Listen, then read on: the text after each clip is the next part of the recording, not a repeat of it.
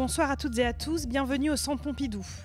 La Bibliothèque publique d'information est heureuse de vous accueillir pour cette nouvelle rencontre du cycle Le Monde sur un fil, organisé avec la revue Esprit.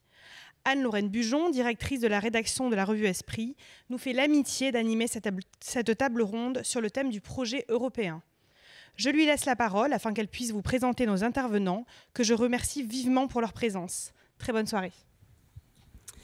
Bonsoir et bienvenue à tous. Merci d'être venus nombreux euh, à la Bibliothèque publique d'information pour ce, pour ce nouveau débat que nous sommes heureux de, co-organiser euh, avec la BPI. Et merci à, Zélie Perpiga de ce mot euh, d'introduction. Alors, notre discussion de ce soir, le projet européen à l'épreuve de la guerre, s'inscrit évidemment dans une actualité européenne assez dense.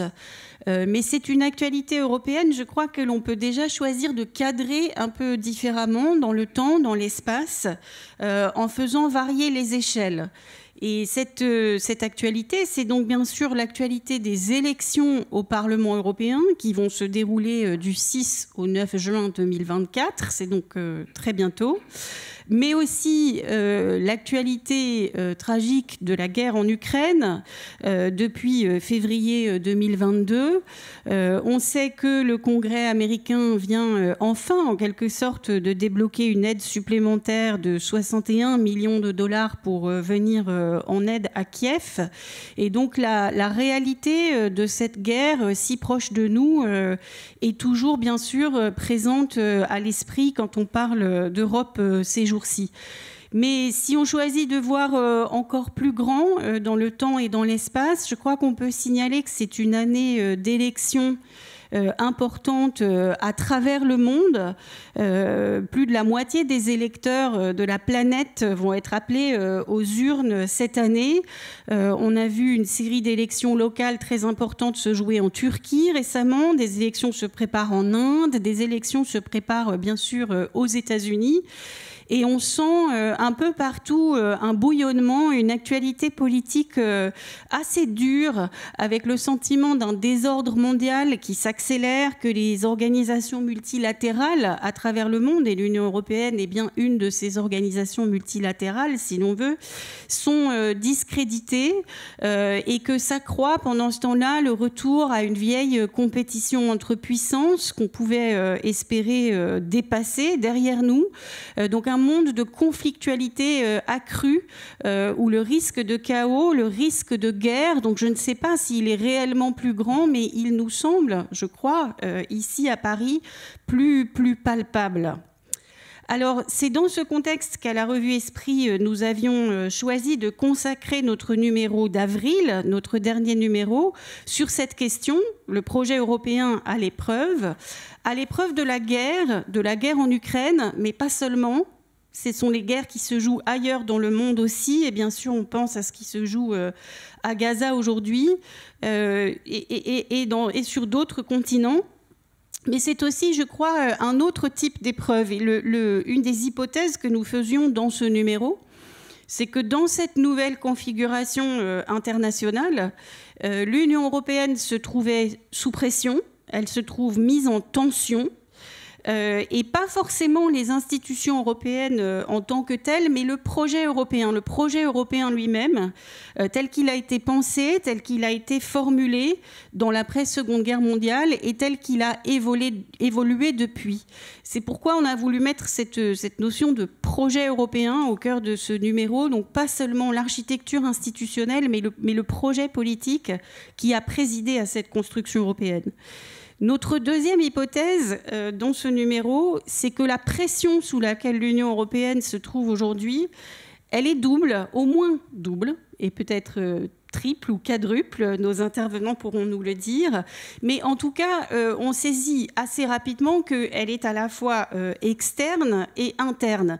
Elle est externe parce que, je l'ai dit, le monde se fait plus menaçant pour les Européens, et a fortiori, je crois, depuis l'invasion de l'Ukraine euh, par la Russie, mais également euh, tension interne, tension à l'intérieur de l'espace européen, à l'intérieur des États membres, avec des mouvements d'extrême droite qui progressent un peu partout à travers le continent, avec la Hongrie illibérale de Viktor Orban, autrefois solidaire de la Pologne dirigée par le PiS de M. Kaczynski. Maintenant, euh, la Pologne a, changé de couleur.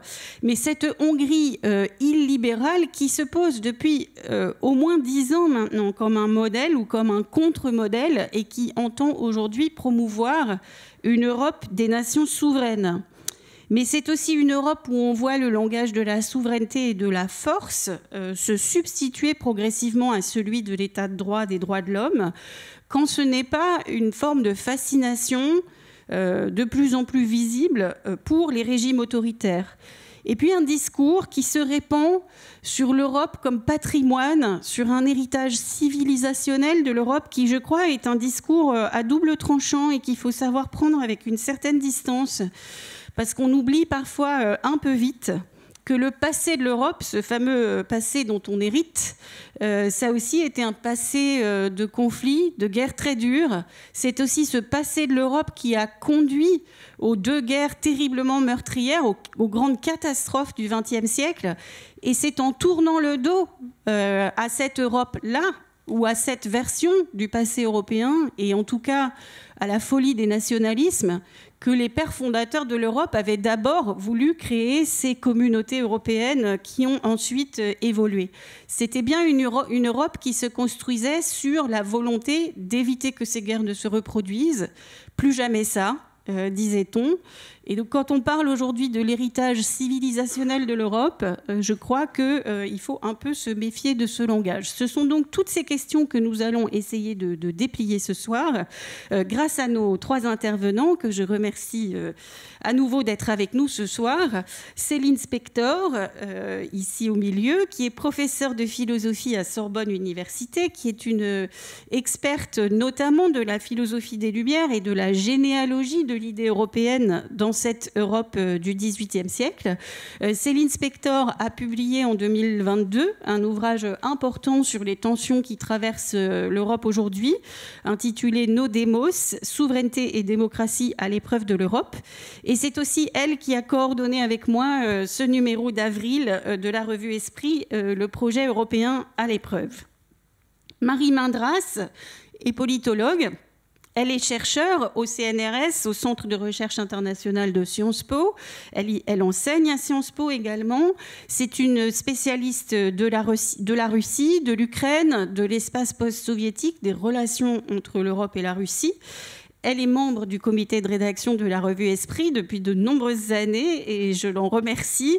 Euh, elle a publié de nombreux articles sur, euh, cet espace post-soviétique euh, dans la revue. et elle vient récemment de publier aux éditions Kalman Levy La guerre permanente, l'ultime stratégie du Kremlin. Et puis Dominique Potier, euh, vous êtes député euh, socialiste, élu de la cinquième circonscription de Meurthe et Moselle. Euh, vous êtes député à l'Assemblée nationale depuis 2012, si mes informations sont exactes. Vous êtes également agriculteur, ce, dont vous Vous étiez agriculteur et à l'Assemblée nationale aujourd'hui, vous siégez à la Commission des affaires économiques. Euh, où vous avez fait partie notamment du groupe d'élus qui se sont beaucoup mobilisés pour défendre un projet de loi sur le devoir de vigilance, euh, projet de loi donc euh, français, mais projet de loi qui a été relayé par une, par une directive qui a été votée la semaine dernière au Parlement européen. enfin, oui, euh, et euh, donc ce devoir de vigilance, c'est bien une manière de rappeler euh, notre vocation sociale et environnementale, notamment en Europe. Je signale encore que vous avez rédigé récemment pour la Fondation Jean Jaurès une note très éclairante sur, sur la récente crise des agriculteurs et ce que vous appelez les angles morts de notre réponse politique à cette crise. Alors je vais commencer par interroger nos intervenants, mais ensuite ce sera votre tour euh, et, vous, aurez la possibilité de leur poser toutes les questions que vous souhaitez. Alors, je me tourne d'abord euh, vers vous, Céline Spector, pour revenir à cette idée que euh, l'Europe traverserait en ce moment un tournant, enfin qu'elle serait à un tournant, qu'elle serait dans un moment de, vérité. on entend parfois un moment existentiel pour l'Europe. Alors, dans ce numéro d'avril dont je parlais, vous signez un article intitulé De nouveaux tribuns le moment machiavélien de l'Europe.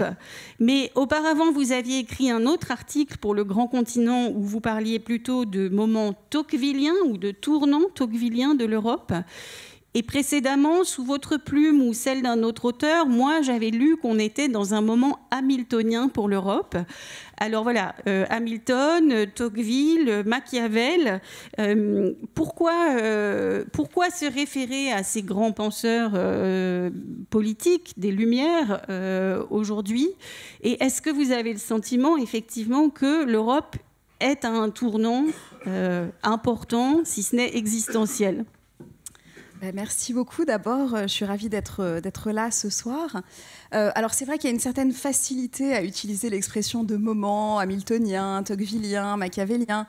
mais lorsqu'on essaye de réfléchir, ce qui est mon cas à partir de la philosophie politique, on essaye tout de même de trouver dans l'histoire un certain nombre, disons, d'éclairages et euh, la raison pour laquelle j'ai été conduite à parler avec d'autres, hein, je ne suis pas du tout la seule, par exemple, euh, de moments hamiltoniens, c'était parce que, effectivement, au moment de la crise de la pandémie, du Covid, la décision prise d'un endettement commun a conduit à dire ben, peut-être que l'Union européenne accepte hein, ce que certains attendaient depuis longtemps et que d'autres redoutaient au contraire, c'est-à-dire l'idée que nous allions effectivement émettre une dette commune, ce qui aux États-Unis, lors du moment fédéral, avait joué un rôle assez décisif dans la constitution de la fédération américaine. Donc étions-nous, entre guillemets, sur la voie de la construction d'un processus de fédéralisation qui ne devait pas forcément nous mener euh, vers un État fédéral complet, mais qui approfondissait de manière significative euh, la trajectoire de l'Union européenne. Alors le moment tocquevillien, c'est plus une réflexion, euh, de même que le moment machiavélien, sur euh, le moment géopolitique où nous sommes. C'est-à-dire, pour le dire en un mot, la fin de la Pax Americana, hein, que se passera-t-il lors des élections du mois de novembre aux États-Unis Nous ne sommes plus sûrs du parapluie américain, nous allons peut-être devoir prendre en charge, en main notre propre défense. Et la question que nous nous posons, c'est finalement, euh, prenons-nous conscience réellement de notre vulnérabilité commune, prenons-nous conscience de notre finitude, et surtout, pouvons-nous assumer le statut de puissance Alors c'est une question qu'on entend beaucoup aujourd'hui. Est-ce qu'on peut aller vers quelque chose comme une Europe puissance alors que l'Europe s'est constituée comme un espace, disons, orienté par des valeurs universelles, hein, la paix, la démocratie, l'état de droit par exemple, les droits de l'homme, est-ce que maintenant, on va se dire que ce qui était construit vers la paix, vers la coopération multilatérale, vers des logiques de sécurité collective et de développement, nous allons en quelque sorte effectuer un tournant vers davantage effectivement de politique de puissance, de politique de défense, une politique étrangère et de sécurité commune qui serait plus unifiée.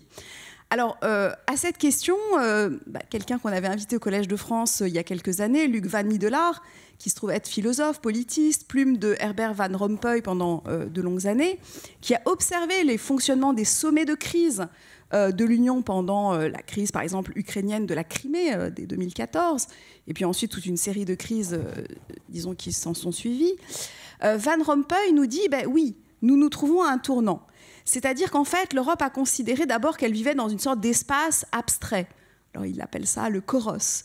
Et maintenant, nous allons arriver au topos. Hein, il va falloir faire un tournant topographique. Qu'est-ce que ça veut dire? Ben, Il va falloir prendre en compte nos frontières et penser dans cette finitude spatiale. De la même manière pour le temps. Nous étions en quelque sorte hein, dans un temps abstrait, chronos, et nous allons devoir saisir le kairos, le moment opportun. Et donc là, de nouveaux tournants, il va falloir apprendre à improviser, à faire face aux défis géopolitiques majeurs. Or, l'Union européenne, elle a été construite par le droit, par l'économie, et en réalité, les structures politiques qui sont venues après coup ne sont pas forcément prêtes à affronter ce qu'il appelle la politique de l'événement. Alors comment est-ce qu'on passe de la politique de la règle à la politique de l'événement? Comment est-ce qu'on apprend à faire face aux défis géopolitiques? Donc la solution de Van Rompuy, c'est de renforcer le directoire exécutif, c'est-à-dire le Conseil européen. Et il parie beaucoup évidemment sur le tandem franco-allemand. Donc à l'époque, quand il l'observait, c'était encore Angela Merkel et puis accessoirement Nicolas Sarkozy ou François Hollande. Maintenant, on a de nouveau un nouveau franco-allemand. Mais en réalité, ce que j'essaye de dire dans l'article, c'est que cette voie me paraît périlleuse.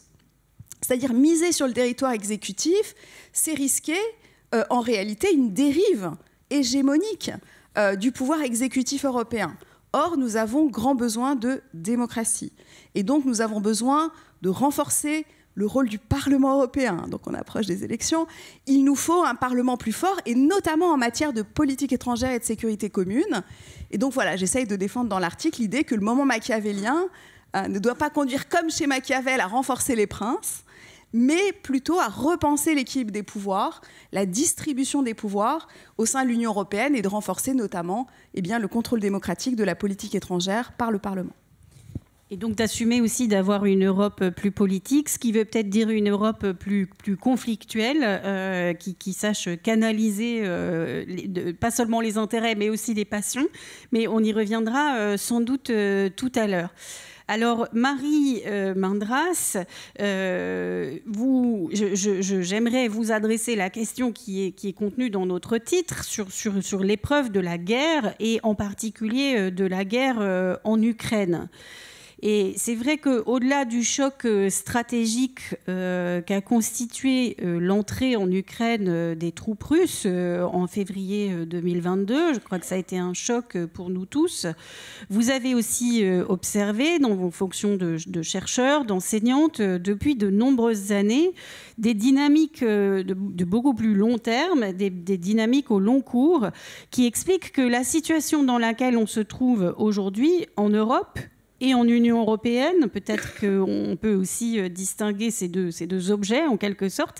Cette situation ne s'est pas fabriquée en une nuit euh, et, notamment, euh, il faut sans doute pour bien la comprendre remonter au moins jusqu'aux manifestations pro-européennes de la place Maïdan, manifestations qu'on est d'accord maintenant pour appeler les manifestations de l'Euromaïdan euh, à la fin de l'année 2013, c'est-à-dire euh, il y a presque, il y a plus de dix ans. Alors est-ce que euh, nous avons trop tardé finalement à, bien regarder, à bien comprendre ce qui se jouait notamment sur la place Maïdan et, à changer en fonction de ça nos représentations de l'Europe? Euh, merci Anne-Lorraine pour cette question. Merci à toutes et à tous de euh, participer euh, à, ce débat. Je crois qu'après avoir entendu Céline Spector sur les, moments, il est absolument temps de parler de l'espace et des réalités géographiques, politiques et humaines, et qui manquent cruellement dans la plupart euh, des, disons, des réflexions un petit peu rapides euh, sur la problématique de l'État ukrainien, euh, de l'Europe. Et enfin, Anne-Lorraine, je vous rejoins. quand on dit nous, de qui parle-t-on? De qui parle-t-on? Est-ce qu'on parle de l'Union européenne? De son exécutif ou de notre représentation euh, citoyenne au Parlement euh, euh, européen qui va être renouvelée. Est-ce que nous parlons du continent? Est-ce que nous parlons de, de chaque pays européen comme si l'Europe était simplement une agrégation d'États-nations ou d'États qui ne sont pas des États-nations, un peu plus compliqué que, que ça. voilà, il y a une énorme incertitude entretenue autour du nous, euh, tout comme euh, autour du, terme occidental. Donc, je pense que si on, regarde d'un tout petit peu plus près euh, la simple géographie, on comprend un peu mieux. Donc, si on met en route la première carte, voilà. Donc, cette carte, c'est celle que nous avons tous découvert, non pas il y a deux ans, mais il y a dix ans. Parce que les Russes, les véhicules blindés, les militaires russes sont entrés en Ukraine au printemps 2014, pas en 2022. Donc voilà, cette carte, euh, c'est tout de suite celle euh, que j'ai découverte, juste après l'annexion de la Crimée, qui a été suivie par l'occupation de l'Est de l'Ukraine par ce qu'on appelait les petits hommes verts, parce que euh, jusqu'à ce jour, euh, Poutine nie qu'en avril 2014, ce sont des Russes, même sans un signe, euh, qui ont occupé et quand même, en quelques mois, déjà tué plus de 9000 soldats ukrainiens. Donc c'était une vraie guerre. C'était une vraie guerre. Et, et, tout de suite, à mes étudiants à Sciences Po, ben, je leur ai montré cette carte. Et je leur ai dit, à votre avis, c'est quoi ce pays? Bah, En fait, ils ne savaient pas trop. Pourquoi? Parce que jusqu'à récemment, on présentait toujours l'Ukraine de manière politique virtuelle, euh, comme une périphérie de la Russie. Et, tout d'un coup, on s'est rendu compte que c'était un pays plus grand que la France, 45 millions euh, d'habitants, euh, c'était un poids lourd, et en plus au cœur du continent. Euh, si on peut mettre la diapo d'après. Donc là, on a l'Ukraine sur le continent européen, avec en bleu les membres de l'Union européenne. J'espère que c'est à peu près à jour. Euh, et, euh, bah, la Biélorusse, dont il faudrait parler aussi, j'espère, dans, les questions, et la Moldavie en gris, c'est-à-dire qui reste dans ce statut d'État tampon d'insécurité totale pris en sandwich entre la Russie de Poutine et nous. Euh, et euh, on voit aussi une partie de cette fédération de Russie. Hein, euh, si on voulait, on pourrait montrer toutes les républiques, toutes les régions, le Caucase, etc. Et je voudrais insister sur le fait que cette partie de Russie qu'on voit, c'est la Russie qu'on appelle, nous, la Russie européenne, que les Russes appellent la Russie centrale, euh, et, c'est la Fédération de Russie, c'est la partie peuplée de la Fédération de Russie. Tout le reste que vous ne voyez pas est très peu peuplé. Donc, si nous regardons ce continent, on voit bien euh, un, équilibre, un rapport de force humain et les réalités qui ont toujours été là, mais qu'on ne voulait pas voir. Euh, grâce à l'invasion de Poutine en 2014, on s'est un tout petit peu réveillé. Enfin, la, dernière carte est pour vous montrer que l'Ukraine est aussi un pays central dans une région dont on ne parle pas assez, qui est la région de la mer Noire. Donc vous voyez plusieurs pays européens euh, autour de cette mer Noire. Vous voyez la Turquie, vous voyez la Géorgie, un autre pays de l'entre-deux, euh, et euh, la, la, Russie. Et vous comprenez peut-être un tout petit peu mieux pourquoi la, Crimée et la côte sud de, l'Ukraine a été aussi une tentative de bouleverser les équilibres de cette région dont on parle beaucoup en Russie, en Ukraine, en Bulgarie, et jamais chez nous en France. Le, quand nous regardons aussi ces cartes, on peut peut-être revenir à la première, Anne-Lorraine, quand on voit ces cartes, ben, on se rend compte qu'il y a un travail à faire en France qui serait vraiment euh, temps de, faire, c'est qu'on se place sur ce continent européen et pas à l'extrême ouest qui est Paris. Il y a, vraiment un problème euh, de, perception qui vient du fait que nos dirigeants, nos journalistes, quand ils parlent, ils sont toujours euh, sur la tour Eiffel. Il n'y a absolument aucun moyen de, les, faire bouger. Hein. Alors de temps en temps, il y a une grande élection en Pologne ou ailleurs, donc ils se déplacent un petit peu, mais euh, la vision reste toujours euh, tour Eiffel.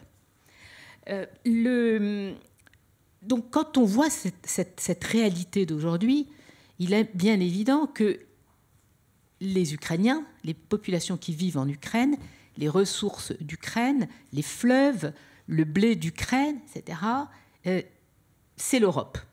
On ne peut pas dire que c'est ailleurs.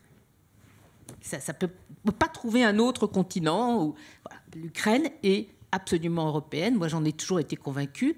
Mais c'est sûr que euh, euh, le, je dirais le, les, Allemands, les Français, les Italiens, les Espagnols euh, n'en étaient pas convaincus en 1991-92 après l'écroulement de, de l'URSS. Donc, c'est pas un problème de frontières, c'est pas un problème d'État notre défi. Le défi, il est en fait, il n'est pas là. Euh, et ce qui est inquiétant dans le débat et la campagne électorale pour les élections du 9 juin, c'est que plus on parle d'Ukraine au sommet,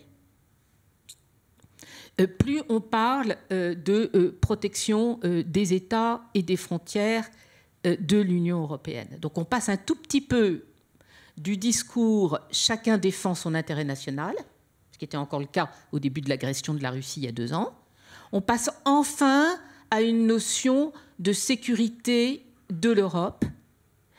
Et j'aimerais bien que nos dirigeants aillent un peu plus loin et parlent de la sécurité humaine en Europe. Euh, et là, c'est très très important, parce que ça, c'est la notion qu'a toujours systématiquement refusé le régime poutinien, c'est-à-dire qu'il n'y a que la sécurité d'un État souverain et il n'y a que la sécurité des frontières.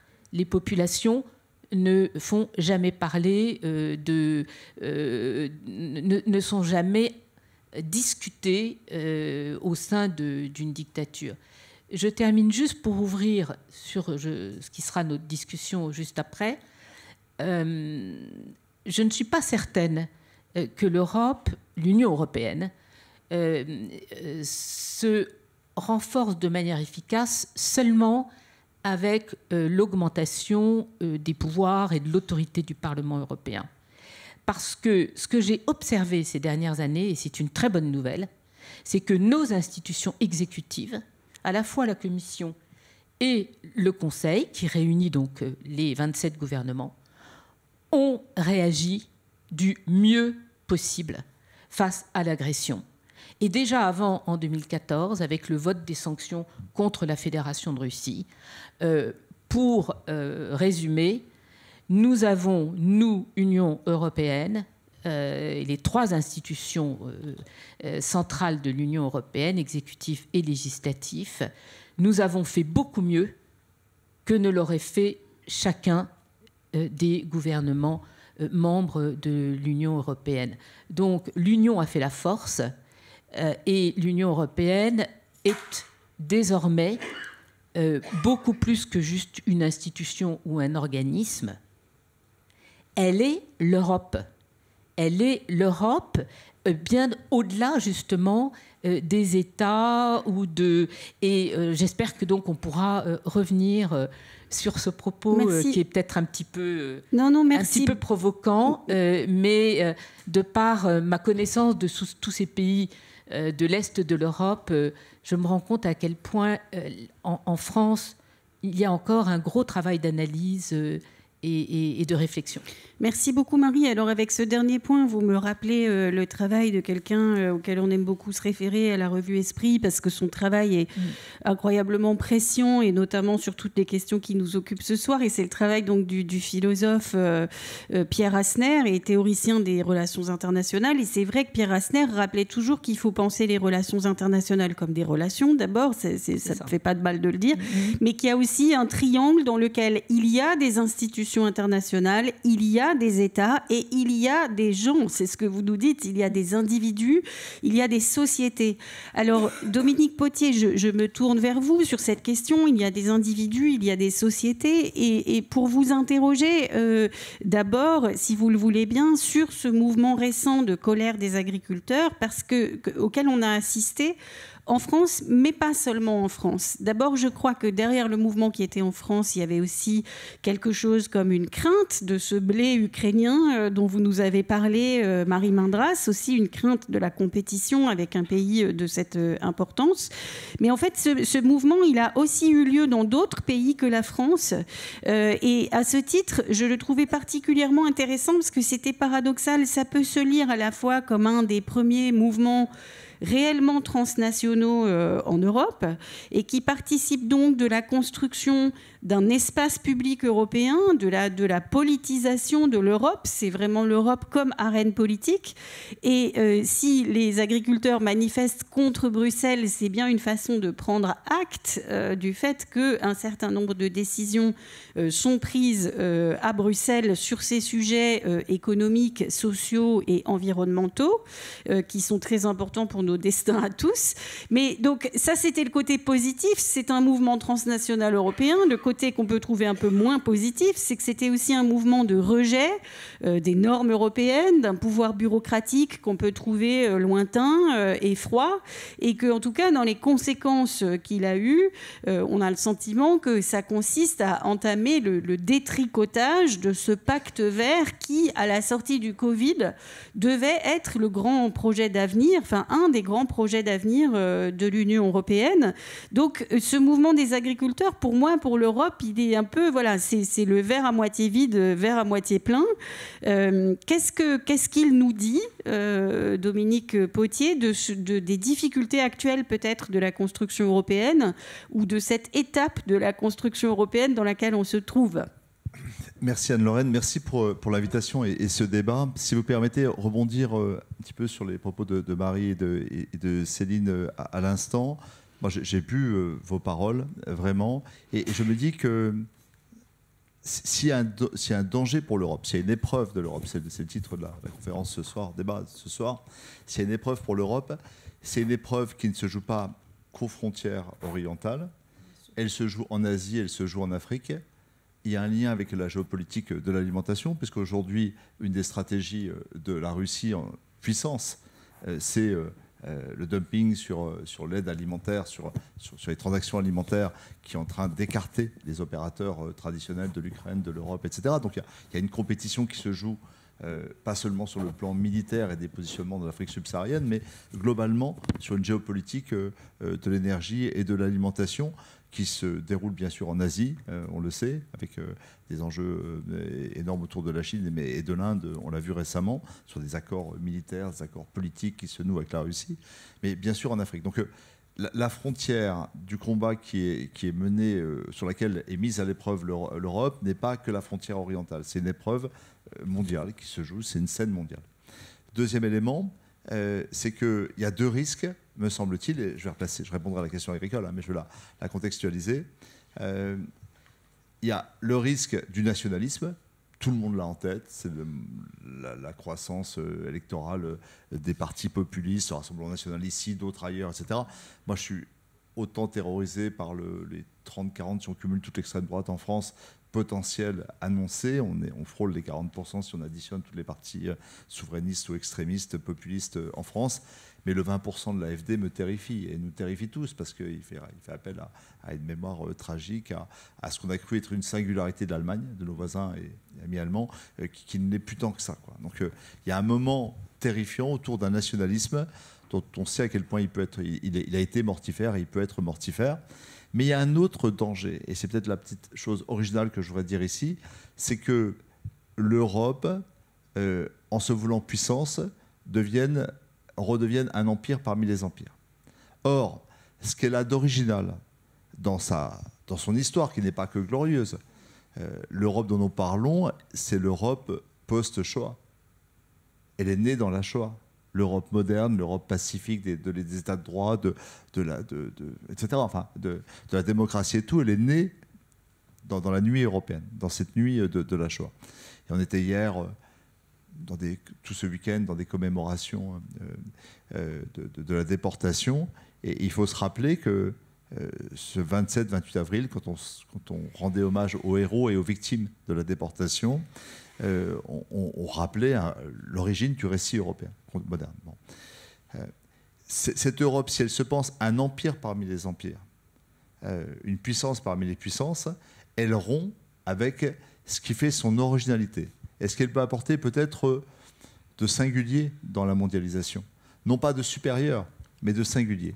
C'est, et ça, vos invités, vos autres invités en parleraient bien mieux que moi, elles sont bien plus savantes que moi pour en parler, mais c'est l'universalisme. Et dans cet universalisme, il a une déclinaison non seulement dans la revendication des déclarations de l'homme et du citoyen de 1789, dans celle de 1948, qui est tout simplement géniale. Enfin, on, aurait du mal à rajouter un mot à la Déclaration universelle des droits de l'homme de 1948. Vous avez essayé C'est un bijou pur. Donc l'Europe, elle n'est pas dans des frontières, elle est dans une vision du monde qui est complètement dans le, dans le, dans le euh, dans, ce, dans, ce, dans, cette capacité de, la Société des Nations, dans la rénovation des institutions internationales. C'est-à-dire que l'Europe, on fait l'Europe comme on refait le monde. C'est-à-dire que on jette les bases d'une mondialisation, d'une dimension universelle des droits. Et cette dimension, depuis quelques décennies, elle porte autre chose que la dignité humaine, elle porte la sauvegarde de notre maison commune. Et l'Europe prend à bras le corps non seulement euh, le récit euh, français de, la COP 14, etc., bon, des, récits glorieux où on pourrait être fier et tout, mais globalement, les États-nations et les sociétés européennes prennent au sérieux la crise de l'Anthropocène et se disent qu'il faut agir. Il faut agir et, l'Europe est, pionnière. Et l'Europe est, pionnière globalement comme, espace géographique. C'est là qu'on va le plus loin dans les normes environnementales. C'est là qu'on apporte la plus grande ambition, la plus grande conscience sociétale. Mais fait majeur, puisque dans la vision optimiste qu'est la vôtre, Marie, vous dites euh, l'Europe devient ses institutions. Eh bien, les institutions européennes font le pacte vert. C'est 2019, donc c'est la, c'est la, présidente actuelle. Euh, et, cette présidente porte un projet qui commence à, se mettre en œuvre en 2021. Et trois ans après, il bégaye. Il s'enraye. Il s'enraye comme s'enraye en France euh, la crise des gilets jaunes quand on veut monter la taxe carbone, il s'enraye euh, quand on veut faire des zones de faible émission dans les villes parce que les classes populaires en sont on va pas refaire, enfoncer les portes ouvertes ici, tout le monde connaît ce sujet, c'est quand on méprise les, classes populaires, euh, elles se révoltent au nom de l'injustice, et, on comprend cette révolte. Pourquoi cette révolte des paysans elle a un caractère singulier? Moi, je, l'ai relu en voyant en creux, en voyant tous les angles morts qui n'étaient pas chargés. Les vrais sujets de la compétitivité agricole ou du revenu agricole, je vous assure qu'ils sont ailleurs que dans les normes du pacte vert. Et il faudrait, euh, je renvoyais un politologue averti ou un sociologue pour analyser comment une des revendications, pour ce qui est du récit français, hein, euh, il est différent aux Pays-Bas et, en Allemagne. Ils vont converger, mais cette convergence est un peu euh, en apparence. Oui, c'est pas le même mouvement, mais en tout cas, il bah, passait des choses. Il y a une sorte de coalition, une vision en surface comme ça. Ça part de l'Ariège. on est aux avant-postes du dérèglement climatique. On est sur la paysannerie la plus pauvre euh, de France. Les écarts de revenus, vous savez, dans le monde agricole, sont parmi les plus, les professions les plus importantes. Euh, on part donc de la, pauvreté paysanne, des gens qui sont confrontés à des, crises euh, aviaires, bovines qui sont terribles, des retards de versement de la politique agricole commune sur des aides à l'herbe qui, permettent la survie de ces territoires, etc. Donc il y a une crise de la révolte. on pourrait dire, ouais, une jacquerie, qui ressemble à une jacquerie. Et ça se termine autour de Paris, avec, euh, dans les revendications, euh, on charge des, revendications qui étaient euh, indécentes encore quelques mois avant, et qui sont la défense des privilèges des, filières les plus puissantes, et de remise en cause de principes qui m'a fait condamner parfois ce mouvement en le caractérisant d'illibéral. La remise en cause du pouvoir scientifique, par exemple, sur la normativité des pesticides, ben écoutez, ça faisait longtemps qu'on n'avait pas osé. Enfin, moi, j'entendais susurrer dans le salon de l'agriculture euh, ces dernières années. Mais tout à coup, ça a explosé, ça devient une revendication. Et la réponse du politique, c'est euh, de l'affirmer comme une, comme une nouveauté, comme un progrès. Et plus que ça, c'est ensemble des réponses politiques dans l'Union européenne qui visent à détricoter un pacte vert en matière agricole qui venait à peine d'être adopté et dont la mise en œuvre allait se faire simplement cette année. Euh, donc on est en train de détricoter quelque chose de très récent et qu'est-ce qu'on est en train de détricoter? On est en train de détricoter, euh, Anne-Lorraine, euh, ce que j'ai lu euh, sous la plume d'un des meilleurs observateurs du, droit français, son, nom, Benoît Grémont-Pré, de Benoît Grémont-Pré, que je vous invite à lire sur ces questions. Benoît Grémont-Pré dit c'est quoi ces normes européennes? C'est le bon sens paysan. La bonne agronomie, c'est des rotations. La bonne agronomie, c'est de garder des prairies permanentes, en tout cas d'une diversité, diversité de mosaïques paysagères, une diversité dans le temps, dans l'espace. C'est un gage de performance et de durabilité et de productivité. Donc voilà. l'Europe ne fait que reprendre ce qu'est le bon sens paysan. Ce qu'une économie euh, de marché a détruit, l'Europe le rétablit dans ses grands principes et à partir de révoltes populaires, des intérêts singuliers euh, instrumentalisent cette révolte et elle correspond à un kairos, un moment dramatique, qui est celui des concurrences russes et ukrainiennes potentielles sur les marchés européens intérieurs, du marché commun euh, de l'Europe, mais également sur des, marchés convoités autour du Maghreb, etc., aux échanges méditerranéens classiques. Donc euh, il y a cette espèce de conjonction. J'y rajoute un trait politique, c'est que nous sommes dans un moment de sidération et de panique qui fait que sur cette question comme sur d'autres, je pense à l'immigration par exemple, la droite court après l'extrême droite, le centre après la droite, la droite après l'extrême droite, dans une sorte de, de crainte terrible d'être emporté par cette vague populiste. Donc nous renonçons je, termine donc euh, ma, petite démonstration, mm. c'est que en fait on peut lire ce mouvement comme une forme de renoncement de l'autorité européenne à une expression de l'universalisme, d'une sens d'un devoir qui nous dépassait, qui était celui de rétablir des écosystèmes dans la biodiversité, dans la lutte contre le dérèglement climatique, au nom de l'intérêt général, et qui nous dépassait euh, euh, dans un moment parfois qu'on pourrait qualifier par certains aspects de trumpiste, Hein, dans, la façon de négocier et de démagogique dans la réponse des, gouvernements. C'est un renoncement incroyable. Tout ce qui avait suggéré le pacte vert est démonté trois ans après, euh, sous une poussée qu'il faut tout de même relativiser. Donc si on ne met pas les éléments géopolitiques et de politique intérieure par la peur de la montée du populisme, on ne comprend pas ce qui est en train de se jouer, qui est tout simplement dramatique, parce que derrière cette remise en cause du pacte vert sur son volet agricole, il peut y avoir la même chose sur la logistique, la mobilité, il peut y avoir la même chose sur l'habitat, sur l'industrie automobile, etc., etc. Vous voulez que je termine par une phrase? Euh, Ce que j'ai lu hier m'a terrifié, c'est que les droites et les extrêmes droites européennes remettent en cause les accords de la déforestation. Les accords sur les directives ont deux ans leur mise en œuvre suppose un petit peu de certification et de démarches administratives. En fait, ils freinent la déforestation de la forêt amazonienne pour l'essentiel, au profit de cultures de protéines euh, que nous importons massivement et qui constituent une part de la compétitivité de nos élevages. Il y a un autre scénario, évidemment, c'est l'autonomie en protéines de l'Europe, qui est une autonomie alimentaire essentielle, qui permet la diversification des cultures et de nous affranchir des intrants chimiques. Eh bien, nous sommes en train, il y a aujourd'hui une remise en cause de la déforestation en Amazonie. Quand je dis que c'est des questions qui dépassent l'Europe et qui sont sur le champ du monde, cette crise agricole, elle illustre ce péril-là. Merci beaucoup. Alors après vous avoir entendu tous les trois, on comprend qu'effectivement les, dimensions de la situation européenne aujourd'hui, euh, elles sont multiples. Et là, vous nous rappelez, euh, Dominique Potier, on dit souvent euh, l'Europe, elle ne s'est avancée que dans les crises. Enfin, la construction européenne ne se fait que dans les crises elle peut aussi reculer, évidemment, euh, dans les crises. Et je pense que tout ça euh, contribue à cette impression qu'on a que les élections euh, qui vont se jouer du 6 au 9 juin prochain sont des élections à haut risque, dans lesquelles, en fait, risquent de s'affronter plusieurs visions du projet européen. Donc, il y a la vision de Vladimir Poutine qui voudrait simplement affaiblir l'Union européenne par tous les moyens possibles et imaginables. Il y a la vision, on l'a dit, donc des puissances illibérales à la Victor euh, Orban, qui serait de revenir à une Europe euh, des nations souveraines. Euh, il y a cette idée, vous nous l'avez rappelé, Céline Spector, que l'Europe doit prendre conscience de sa finitude ou de sa fragilité ou de sa vulnérabilité. Alors c'est vrai qu'on avait entendu pas mal ces dernières années qu'on voulait construire une Europe qui se protège, qui protège, mais le président Macron a prononcé un grand discours à la Sorbonne bonne la semaine dernière, où on avait le sentiment parfois d'entendre parler davantage d'une Europe précisément qui doit se protéger, peut-être pas protéger ses citoyens, mais se protéger, donc avec cette vision d'une Europe, Europe forteresse, euh, qui est aussi la vision d'un certain nombre de, personnes, de forces politiques euh, en Europe.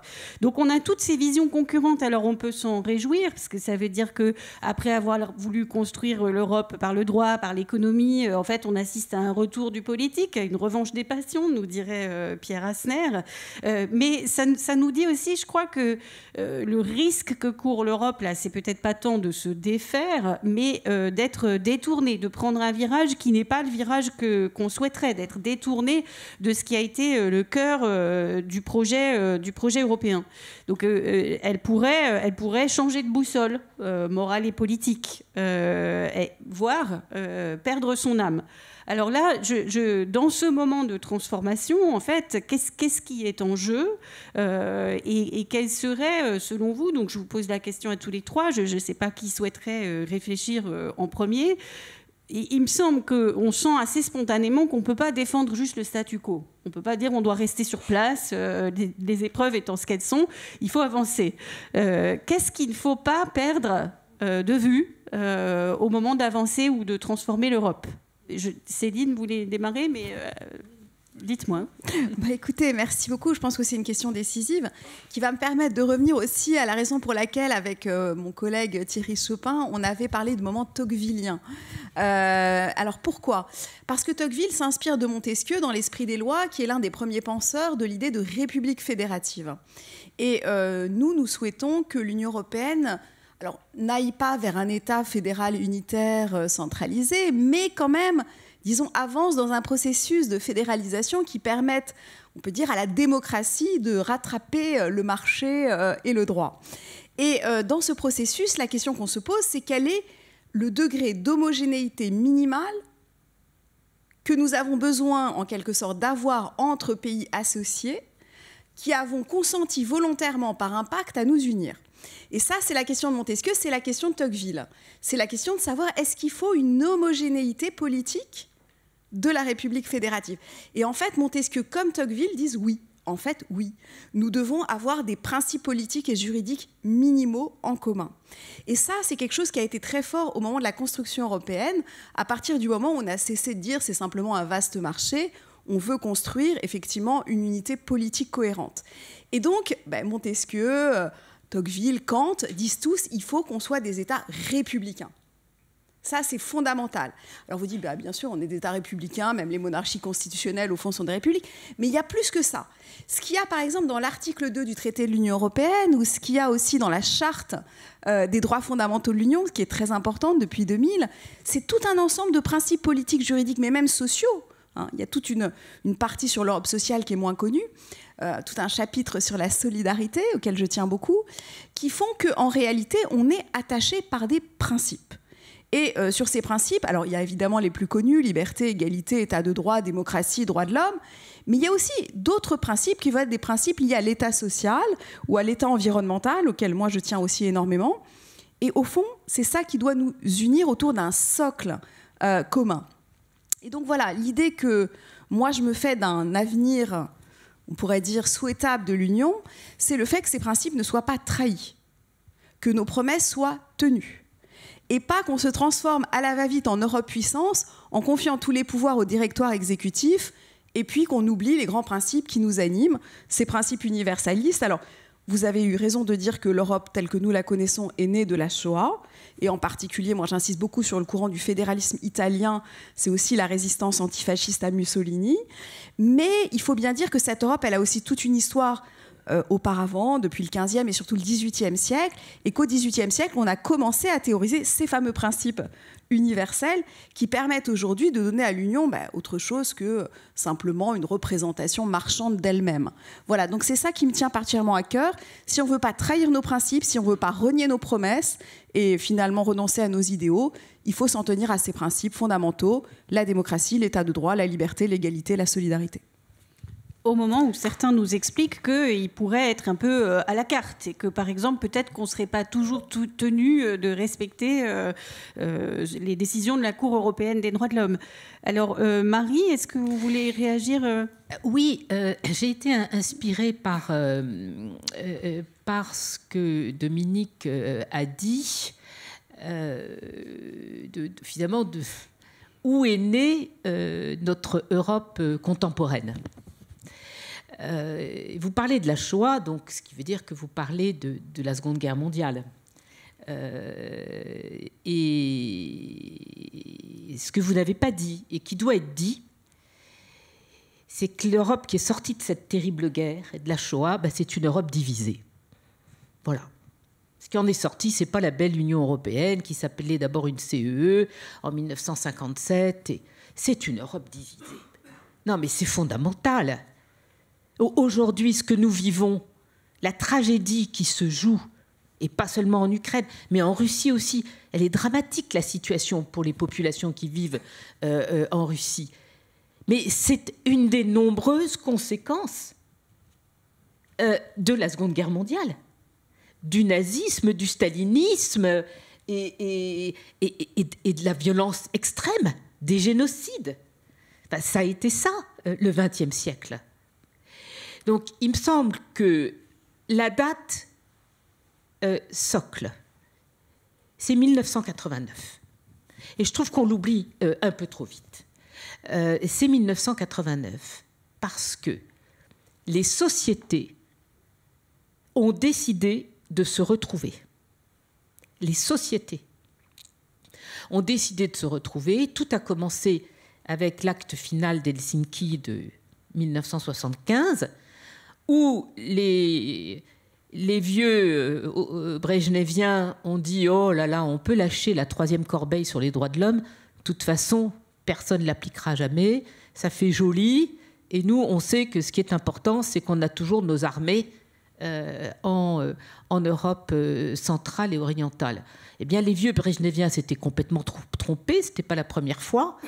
Et les sociétés se sont mises à bouger très vite, et notamment les Polonais. Moi, j'ai eu la chance euh, d'être en Pologne euh, à l'été 1980, donc euh, au début hein, des grandes, des grandes émeutes et, de Solidarność.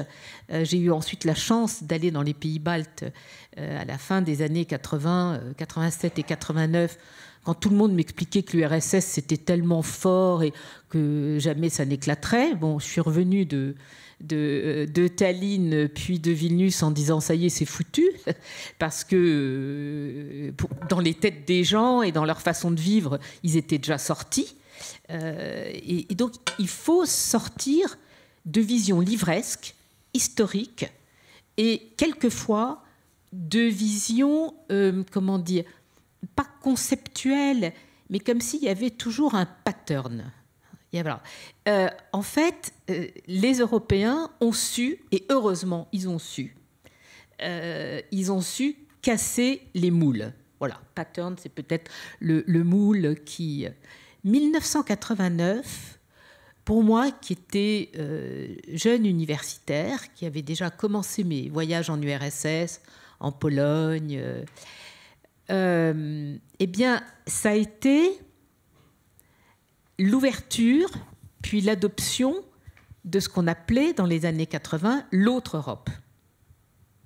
The Other Europe. Et où je pense toujours à ce livre merveilleux du poète et écrivain Czeslaw Miłosz, euh, qui s'appelle L'autre Europe et que vous lirez tous avec, euh, avec bonheur. Et euh, et qu'on connaît au moins par la littérature, le cinéma. C'est ça, la littérature, le cinéma, et, absolument. Et ce que j'ai compris à partir de mes voyages en Ukraine, euh, dans les pays baltes entre 89 et 91, c'est que maintenant, il allait falloir qu'on s'attelle à la nouvelle autre Europe. Ce que j'ai appelé plus tard les États sandwich, ce que j'ai montré sur cette carte. Euh, on peut revoir la carte d'après, d'ailleurs, euh, Anne-Lorraine.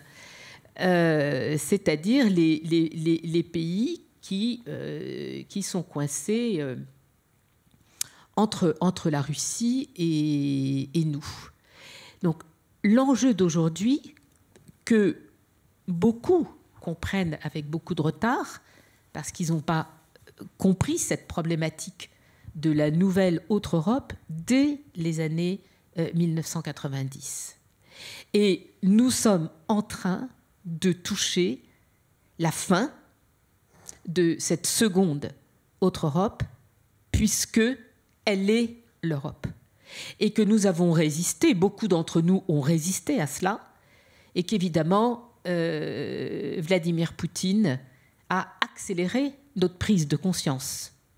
Donc, euh, euh, à une autre conférence, je serais ravie de vous expliquer, mais vous le trouverez dans mon livre La guerre permanente, pourquoi, chaque fois que Poutine prend une décision, il obtient le résultat exactement inverse de celui auquel il voulait euh, euh, parvenir. Euh, et c'est pour ça que son comportement et sa guerre absolument atroce ne peuvent en aucun cas freiner la réalité de l'Europe et freiner le projet européen qui s'impose par les réalités. Et c'est la raison, oui, pour laquelle certaines personnes disent qu'il ne faudrait pas parler d'élargissement, mais qu'il faudrait parler de réunification parfois. Où, et, quand on va dans ces pays, les pays baltes, euh, la Pologne, euh, on sent euh, une sorte d'enthousiasme pro-européen qui nous manque parfois. C'est là que dans les grandes manifestations, enfin, je pense aux manifestations en Pologne pour les droits des femmes et notamment contre le recul du droit à l'avortement, ce sont des manifestations populaires pour des grandes causes euh, sociales euh, et où on arbore euh, fièrement des drapeaux européens. Est-ce que ça correspond Je peux juste ajouter un point là-dessus. ce qui a complètement explosé ces deux dernières années, c'est l'idée un peu saugrenue que l'Europe pouvait garder des États tampons et des frontières floues à ses limites méditerranéennes et européennes. Il ne faut pas oublier les, printemps, euh, le printemps arabe de, 2011. Il ne faut pas l'oublier non plus. Et euh, que ça a complètement explosé. Et il est désormais euh, plus que saugrenu, mais tout simplement insensé, de proposer une troisième voie aux Européens, parce qu'ils se trouvent vivre un peu plus à l'est du continent. Il n'y a pas de troisième voie.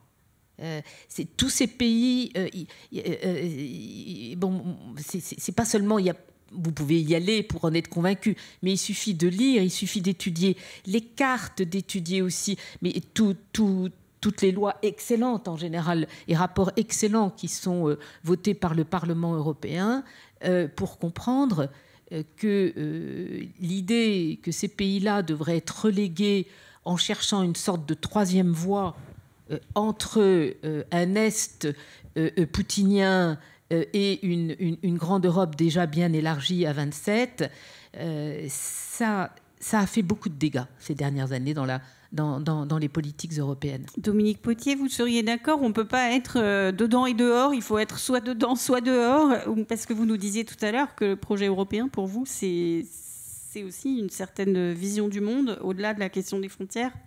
Pas faire rentrer tout le monde non plus. bah, un peu, si. Euh, c'est pas. C'est pas. C'est une question qu'on avait, qu'on avait abordée avec, euh, avec, euh, avec l'esprit civique sur cette idée de, l'Europe inachevée. Elle est inachevée, je pense, dans, dans l'accomplissement de la cohérence avec ses principes. Sur le plan géographique, le débat pourrait être éternel. Il y a des évidences, je partage assez les vôtres, mais je me méfie d'une approche par trop patrimoniale. Quoi on parle la même culture, la même langue, on a une histoire commune, donc on doit reconstituer euh, ce qui fut un empire. On doit, c'est pas votre esprit, mais non, mais ça pourrait, ça pourrait, on pourrait, on pourrait retrouver euh, euh, des frontières qui sont autant de, motifs de guerre. Bon, la question c'est bien de un dépassement des frontières sans leur négation. Hein, c'est la fameuse phrase de, Régis Debray, hein, de ces, limites hospitalières garantes de la diversité du monde. Bon, où est-ce qu'on les met exactement? Je crois que ce débat n'est pas forcément un débat euh, de violence, il peut se faire dans les transitions. Pour ce qui est de la géopolitique que vous évoquez euh, pour les pays concernés, je, partage assez votre analyse, mais je me méfierais d'un, encore une fois de l'attitude d'empire. Mais je voudrais d'abord reprendre la chronologie avec vous. Vous dites moi, j'étais plutôt sur le rêve de Schuman de 1950. Vous évoquez 1789. Moi, je pense que 1789, ben, c'est les deux. C'est 1789 accompli, enfin 1989, pardon, accompli euh, le, rêve de Schuman et de et d'Adenauer et de Gasperi. Enfin, je, pense que ce rêve était contenu initialement. Mais ce sont les sociétés qui l'ont accompli 1989. Ah, mais je pour, pour avoir des euh, et des théories. Eh, mais pour avoir pour avoir traversé quelquefois euh, le rideau de fer pour, euh, pour soutenir des, paysans euh, de Solidarnosc dans, dans, ma prime jeunesse, je, vous assure que j'en ai fait l'expérience. Donc je vois très bien ce dont vous parlez. Voilà, c'est ce goût de la liberté, ce, ce goût d'un récit européen. Je, je, dis simplement que moi, ce qui m'a frappé dans mon imaginaire de, de, de, de Français engagés et d'Européens éperdument amoureux de l'Europe, c'est le discours de, et c'est un socialiste qui le dit, hein, de Charles de Gaulle et de Konrad Adenauer, c'est la fameuse tournée, j'arrive pas à retrouver la date, et puis bon, euh, et puis je vais mal prononcer le mot, mais c'est dans euh, sur une place, le Duisbourg, je, prononce mal, vous corrigerez. Bon, euh, j'ai la mémoire de, ce mot, mais c'est mal prononcé, vous corrigerez. il s'adresse à la jeunesse allemande, la place, la vidéo est extraordinaire, pour chercher De Gaulle, discours à la jeunesse allemande. qu'est-ce que dit le général de Gaulle? On est quelques années avant le traité franco-allemand. Hein. Donc on est vraiment sur quelque chose de très visionnaire. C'est une des, tournées qui est vraiment audacieuse hein, dans, l'après-guerre. Il leur dit, jeunes Allemands, jeunes Français, vous allez fraterniser et vous allez le faire en regardant vos frères africains qui aujourd'hui meurent de faim, etc. C'est-à-dire qu'il projette euh, le, rêve de réconciliation franco-allemande dans un dessin européen qui lui-même est tourné vers l'Afrique. Alors on pourrait gloser sur, euh, sur le contexte euh, colonial qui suivra, les guerres qui suivront, mais on se tromperait, je pense, en, de l'interprétation du caractère visionnaire et profondément fondateur de l'esprit européen vous avez eu De Gaulle, Schuman dans les grandes réconciliations euh, aujourd'hui. Hein. Euh, on, accélère un peu l'histoire, on fait des synthèses un peu étonnantes, mais je pense que là, il y a une véritable vision. C'est-à-dire que l'Europe, elle se conçoit dans son rapport au monde. Elle se conçoit dans son rapport au monde. Euh, et, De Gaulle termine son discours en disant ça sera une question de technologie, de question d'agronomie, il va falloir apprendre à cultiver de ça. Bon, il a cette vision un peu paternaliste qu'on condamnerait aujourd'hui. Mais aujourd'hui, la même vision pourrait être portée sur une vision de co-développement autour de la Méditerranée, sur les questions d'agronomie, d'énergie, d'échanges culturels, etc. Bon. Et cette vision-là, elle est constitutive de l'Europe, parce qu'elle dit son attachement à l'universalisme. Donc on n'est pas en train de reconstituer le patrimoine européen d'antan qui a fait sa puissance et ses guerres et, et, et, l'anéantissement. Dans un mouvement eux contre nous. Dans un mouvement euh, euh, de, de, universaliste qui, redit l'égale dignité de chaque être humain et notre maison commune. Et l'Europe est un contributeur original. Et, je le dis avec un principe aussi de réalité. Moi, j'aime beaucoup, on avait invité Enrico Letta avec euh, civique à l'Assemblée et nous rappelait quelque chose de très pragmatique. Euh, nous étions, au moment de la déclaration Schuman, un cinquième de l'humanité. En 2050, nous serons 5%. Nous serons 5%. Si ces 5% ne sont pas fondés uniquement sur euh, s'ils ne sont pas fondés sur un ethos, sur, sur, sur, sur des principes, euh, c'est la fin du rêve européen, quelle que soit notre armée. J'ai envie de dire, quelle que soit notre armée européenne, c'est la fin du rêve, européen. Le rêve européen est un rêve universaliste. Il se traduit dans une directive déforestation qui prend en soin l'équilibre climat euh, mondial. Il se traduit dans la loi de devoir de vigilance que vous évoquiez, qui est le principe d'une souveraineté solidaire telle que Mireille Delmas-Marty l'a développé. C'est pas même la grosse souveraineté européenne, ça reste une souveraineté égoïste si elle n'est pas solidaire. Donc on n'est pas en train de rebâtir un nouvel empire et une souveraineté solitaire, on doit bâtir une souveraineté solidaire. C'est-à-dire que dans nos actes commerciaux, comme dans nos accords de défense et de co-développement, nous devons en cohérence porter des principes et les incarner. Notre faiblesse en Afrique est dans cette incohérence. Merci beaucoup et ça fait complètement écho euh, à des textes qui étaient parus dans la revue Esprit euh, justement dans l'après-guerre et, qu'on a cité très rapidement dans notre introduction euh, au dossier où, Jean-Marie Domenac rappelle d'abord que l'Europe doit être une maison et pas un bastion. Donc vous parlez de maison commune. Qu'elle doit se penser dans son rapport avec le reste du monde bien sûr et que dans cette construction européenne s'il y a un souci du réalisme et de l'efficacité c'est absolument indispensable mais qui doit toujours se conjuguer se balancer, s'équilibrer avec ce que Jean-Marie Domenac euh, appelle le sens de l'homme et que c'est peut-être là qu'est la, la spécificité de l'Europe. Alors, on a parlé des grandes dates du passé, on a parlé des grandes, des grandes figures du passé aussi, mais vous m'avez tendu une perche en parlant de 2050. Alors là, euh, on va pas aller jusqu'en 2050 peut-être, mais donc on s'apprête à élire des nouveaux députés au Parlement européen pour cinq ans. Euh, ces élections sont assez disputées. On a parlé de la montée euh, des, droites radicales, euh, des, visions euh, illibérales. Donc la grande coalition qui a, qui a gouverné plus ou moins l'Europe toutes ces dernières années, une grande coalition centre-droit, centre-gauche, elle pourrait être un peu déséquilibrée, mise en péril, mise en difficulté aussi par des visions beaucoup plus extrêmes, beaucoup plus radicales. On ne sait pas donc de quoi va être fait ce Parlement, mais enfin, on va les lire. et j'ai envie de demander à chacun d'entre vous, donc peut-être qu'on peut recommencer euh, par vous, euh, Dominique, justement, euh, pour les cinq années qui viennent, finalement, quels sont les enjeux, quels sont les dossiers dont vous pensez que ce Parlement européen devrait se saisir en priorité? Moi, je, crois profondément à, l'enjeu du pacte vert, réconciliant économie et, et, écologie. Ça, ça me paraît un point essentiel. Si on veut rebâtir une économie qui s'affranchisse euh, des réalités environnementales. Je ne parle pas des contraintes environnementales ou des, préoccupations environnementales, je parle du, réalisme sur les questions d'environnement. Nous serons dans une vision égoïste, court-termiste et, mortifère qui nous banaliserait euh, dans le monde par rapport à d'autres puissances moins scrupuleuses que nous. Donc c'est bien euh, une économie fondée sur le respect des limites planétaires, respectueuse de la dignité humaine. Moi, je, crois que le combat, et je vais, je, c'est pas le lieu ici, je ne vais pas citer les familles politiques, etc., mais tous les, combats socio-écologiques, euh, directive déforestation, celle qu'avait euh, promis la présidente de la commission, je je lui fais pas le reproche, elle n'a pas eu le temps de la mettre en œuvre, sur le fait que plus jamais on ne commercerait, on ne ferait entrer de produits je pense à la victoire de, de, récemment sur les Ouïghours et, sur l'esclavage moderne, mais il y avait l'histoire du travail des enfants qui était dire. L'Europe et, cette, euh, et cette maison euh, qui, qui, invite d'autres à qui invite d'autres, qui accueille d'autres, le reste du monde, hein, à condition que les enfants soient à l'école et pas dans les champs et pas à l'usine. C'est très fort. Enfin, ça, c'est donc c'est une vision du progrès, une vision de l'humanité, euh, une vision pour casser la misère. Donc, elle doit porter ça à l'extérieur et j'ai envie de dire à l'intérieur et à l'intérieur.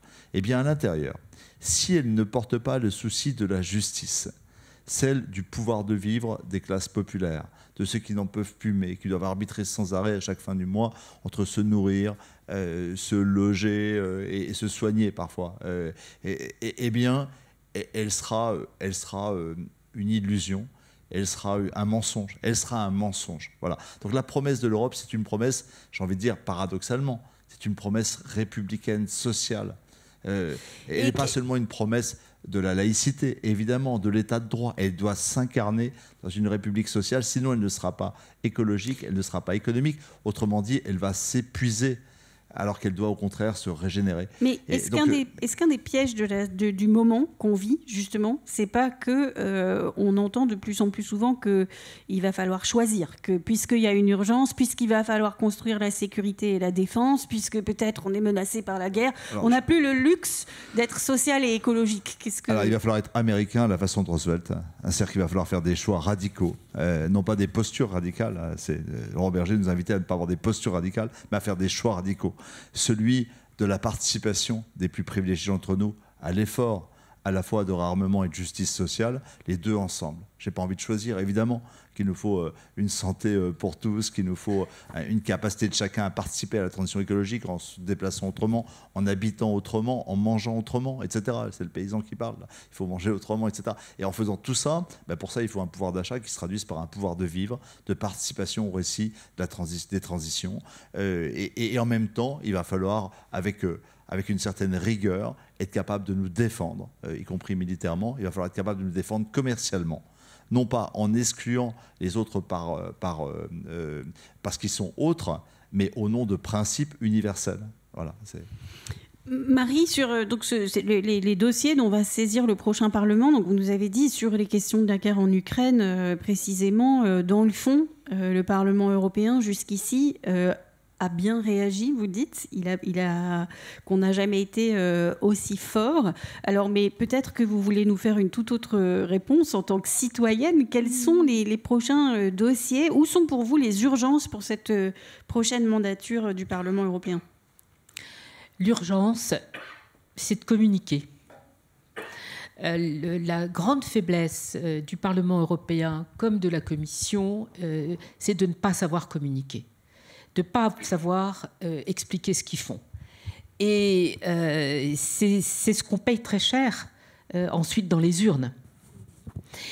parce que mieux communiquer, ça veut dire aussi avoir tout un attirail de riposte à la subversion, à la désinformation, aux campagnes de dénigrement et à tout ce qui était l'arme privilégiée euh, de la dictature euh, russe jusqu'à la décision insensée euh, d'envoyer toute l'armée tenter de détruire tout un, tout un grand pays. Et alors, quand vous êtes à Bruxelles, tout le monde ne parle que de ça. Le problème de la désinformation. En plus, on sait qu'il y a un problème à chaque élection. Et donc aussi, nos scrutins bah, ils vont se passer, avoir lieu dans 27 pays.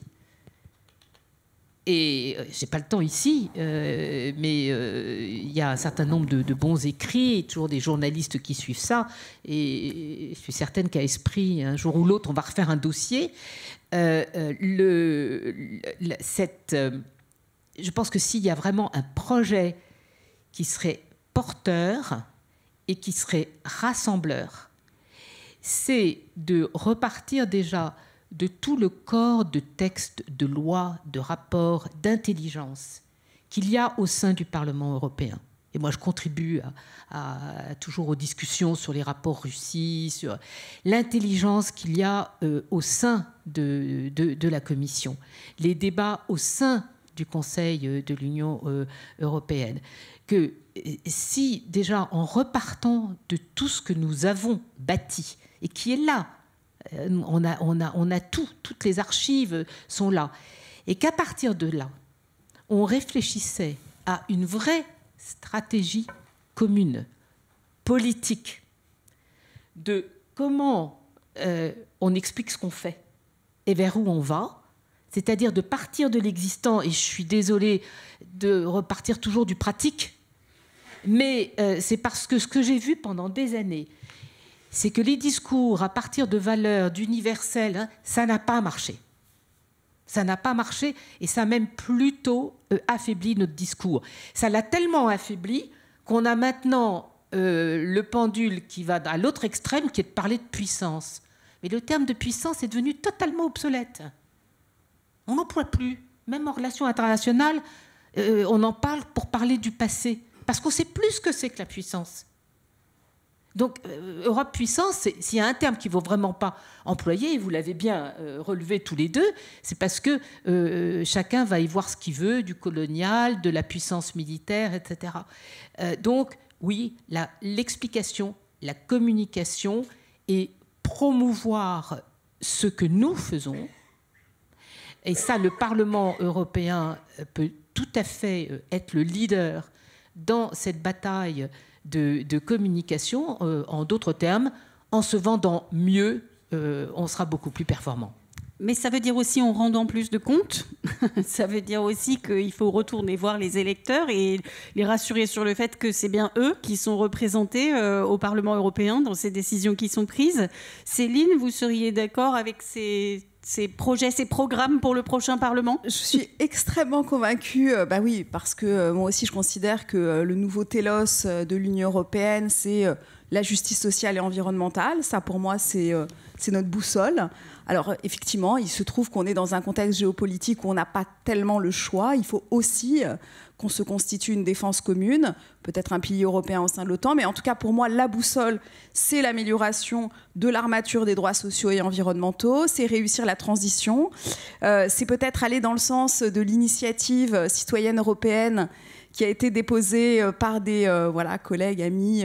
Bah, donc, voilà, Paul Magnette qui a contribué magnifiquement à ce numéro d'esprit, et puis Aurore Laluc hein, qui ont proposé effectivement un ISS vert européen, parce qu'effectivement il faut euh, financer la transition. Un impôt européen. Un impôt vert européen, parce qu'aujourd'hui en fait l'Union européenne n'a pas de ressources propres. Elle commence à en avoir grâce aux taxes, euh, taxes carbone aux frontières. Il y a bientôt euh, en fait le second marché carbone européen qui va aussi engendrer des ressources. Mais enfin, on a quand même besoin d'un énorme budget pour financer cette transition. Et donc, euh, voilà, il va quand même falloir trouver euh, ces nouveaux fonds. Donc ça, c'est un dossier qui me paraît fondamental, qui va avec une réforme, disons, de, l'architecture institutionnelle de l'Union, moi, à laquelle je suis aussi attachée. Donc, par exemple, c'est vrai que l'Union européenne, elle n'a pas de compétences en termes de fiscalité. Comment est-ce qu'on peut euh, rattraper le marché faire une vraie politique sociale et environnementale si on n'a pas de fiscalité commune euh, voilà, on, a du mal à se le concevoir. De même que, euh, effectivement, euh, le verrou du veto. Hein, au Conseil européen, parfois déstabilise complètement, crée des minorités de blocage, crée de la paralysie. Il faut évidemment étendre la majorité qualifiée, les votes à la majorité qualifiée, notamment en matière de politique étrangère et de fiscalité. Et puis, il y a cette réforme du Parlement européen dont je parle un peu dans l'article, qui me paraît très importante. Parce qu'aujourd'hui, euh, bah oui, les citoyens, vous sans doute dans la salle, vous vous sentez loin de votre parlementaire européen. C'est rare que vous le connaissiez. C'est rare qu'il vienne vers vous pour, en quelque sorte, vous rendre des comptes. Or, la démocratie, le, lien de représentation, c'est l'autorisation, nous autorisons par l'élection, et puis c'est la reddition des comptes. On demande des comptes à nos élus. Et il faut donc euh, réformer, à mon avis, le statut de l'élu européen. Il faut donner au Parlement, disons, le droit d'initiative législative, qui aujourd'hui est réservé à la Commission, mais il faut aussi demander plus à notre parlementaire européen. Alors moi, j'esquisse quelques hypothèses hein, dans cet article, notamment, euh, je pense qu'il faut des vraies campagnes avec des voilà, des campagnes européennes, pas euh, complètement euh, stato-centrées franco-françaises comme c'est le cas chez nous.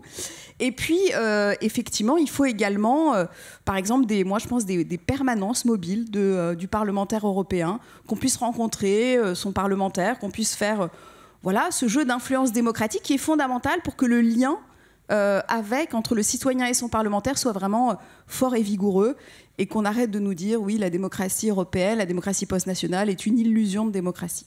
Et qu'on comprenne mieux aussi, euh, donc euh, ça fait partie des idées dans votre article, euh, le rôle des, partis, des partis européens, justement, qu'on comprenne mieux ce qu'ils représentent, ce qu'ils défendent et cette, et cette polarisation éventuellement. Que... Et on sait notamment que depuis le, le vote du pacte vert en 2019, en fait, tous les votes au Parlement européen sont de plus en plus polarisés selon un clivage classique droite-gauche en réalité, les libéraux sont une force d'appoint qui votent d'un côté ou de l'autre, mais on a de plus en plus de votes polarisés.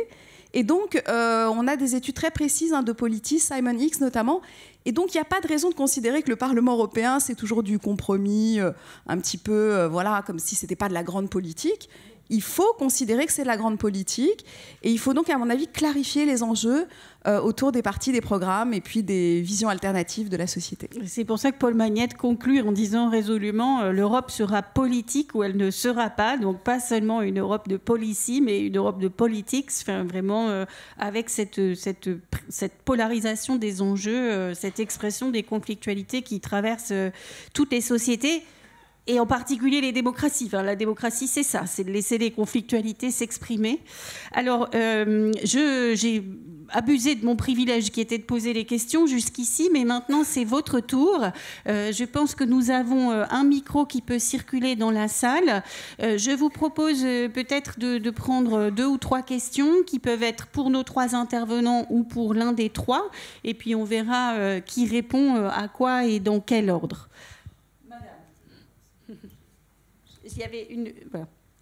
J'avais une question ici et après un monsieur tout de l'autre côté. Merci. Euh, bonjour à toutes et à tous et merci euh, pour vos interventions. Jordana Harris du WWF France. Euh, donc nous le savons, ce dos tourné à l'Union européenne, en effet, sera marqué, et vous l'avez dit, offert par des reculs environnementaux majeurs, et c'est, vous l'avez dit aussi, déjà le cas. Euh, merci pour l'approche euh, géographique. Elle est toujours euh, rafraîchissante et toujours nécessaire. Sur l'aspect de la communication, j'aimerais vous mettre un mot-clé, un peu comme le hope de Obama à l'époque. Il me semble qu'on ne parle pas assez de confiance. On a une crise de la confiance dans nos institutions nationales et européennes. On n'a pas, on n'a plus confiance qu'on va prendre soin de nous, confiance dans le système de retraite, dans cette institution qui s'impose, euh, qui s'impose à nous. Euh, et donc, je pense qu'il y a une meilleure communication à faire que juste des panneaux avec trois mots-clés. Euh, je ne sais plus ce que c'était, sécurité, énergie, je ne sais plus ce qu'il y avait sur cette grande campagne qu'on a vue l'hiver, l'hiver dernier. Oui, c'est vrai. Et à l'inverse, l'Europe. Ouais. Mm. Et à l'inverse, l'Europe, et qui ne parle pas, même à moi qui bosse dessus. à l'inverse, l'Europe, elle est souvent vécue comme une institution pyramidale qui en effet impose, qui s'impose, et vous l'avez dit, et je vous avais dit ce mot-clé, je crois, qui contraint. C'est une, histoire de contrainte, et c'est la même chose sur l'environnement. On parle de contrainte environnementale. Euh, et vous avez parlé de, Tour Eiffel, de Tour Eiffel face à l'Europe, au même titre qu'on parle de Paris et le reste de la France. Et j'aimerais revenir un peu sur votre titre et proposer une question qui revient un peu sur ce titre-là, qui est le projet européen à l'épreuve du local. Et dans cette euh, architecture institutionnelle euh, et dans la réforme possible, j'aimerais vous entendre sur la place des collectivités territoriales dans le projet européen et dans la manière dont on construit au quotidien. C'est vrai qu'avec les échelles, on a été plus grand, mais on n'a pas été plus petit. Donc merci pour cette question. Il y avait une, il y avait une question à droite ici. Ah, on aurait pu. On va vous faire faire des kilomètres à Zélie. Oui, euh, bonjour tout le monde. Du coup, il y a deux questions en fait. Peut-être à, Marie comment vous voyez la fin du scénario de, guerre entre l'Ukraine et la Russie? Peut-être ça, ça existe dans votre. Vous avez écrit ça sur votre livre, La guerre permanente. Et deuxième question, c'est en fait, que, pensez-vous? Bon, ça c'est pour tout le monde. des mouvements qui ont commencé aux États-Unis dans l'université de manière générale et qui, qui est passé aussi maintenant au Sorbonne. Alors l'université qui est effectivement au cœur pour beaucoup de gens de l'histoire de l'Europe, bah, l'histoire de l'université. Oui, bien sûr, bien sûr. Le Alors, monde fil. On va prendre une troisième question et je redonne la parole à nos intervenants. Donc je vous ai vu, monsieur, tout au fond. on, vient, on viendra à vous dans un deuxième tour. Il y avait un monsieur juste ici qui avait une question, je crois. Oui? Ah, c'était la même question. Pardon. Alors, excusez-moi, Zélie. Ah.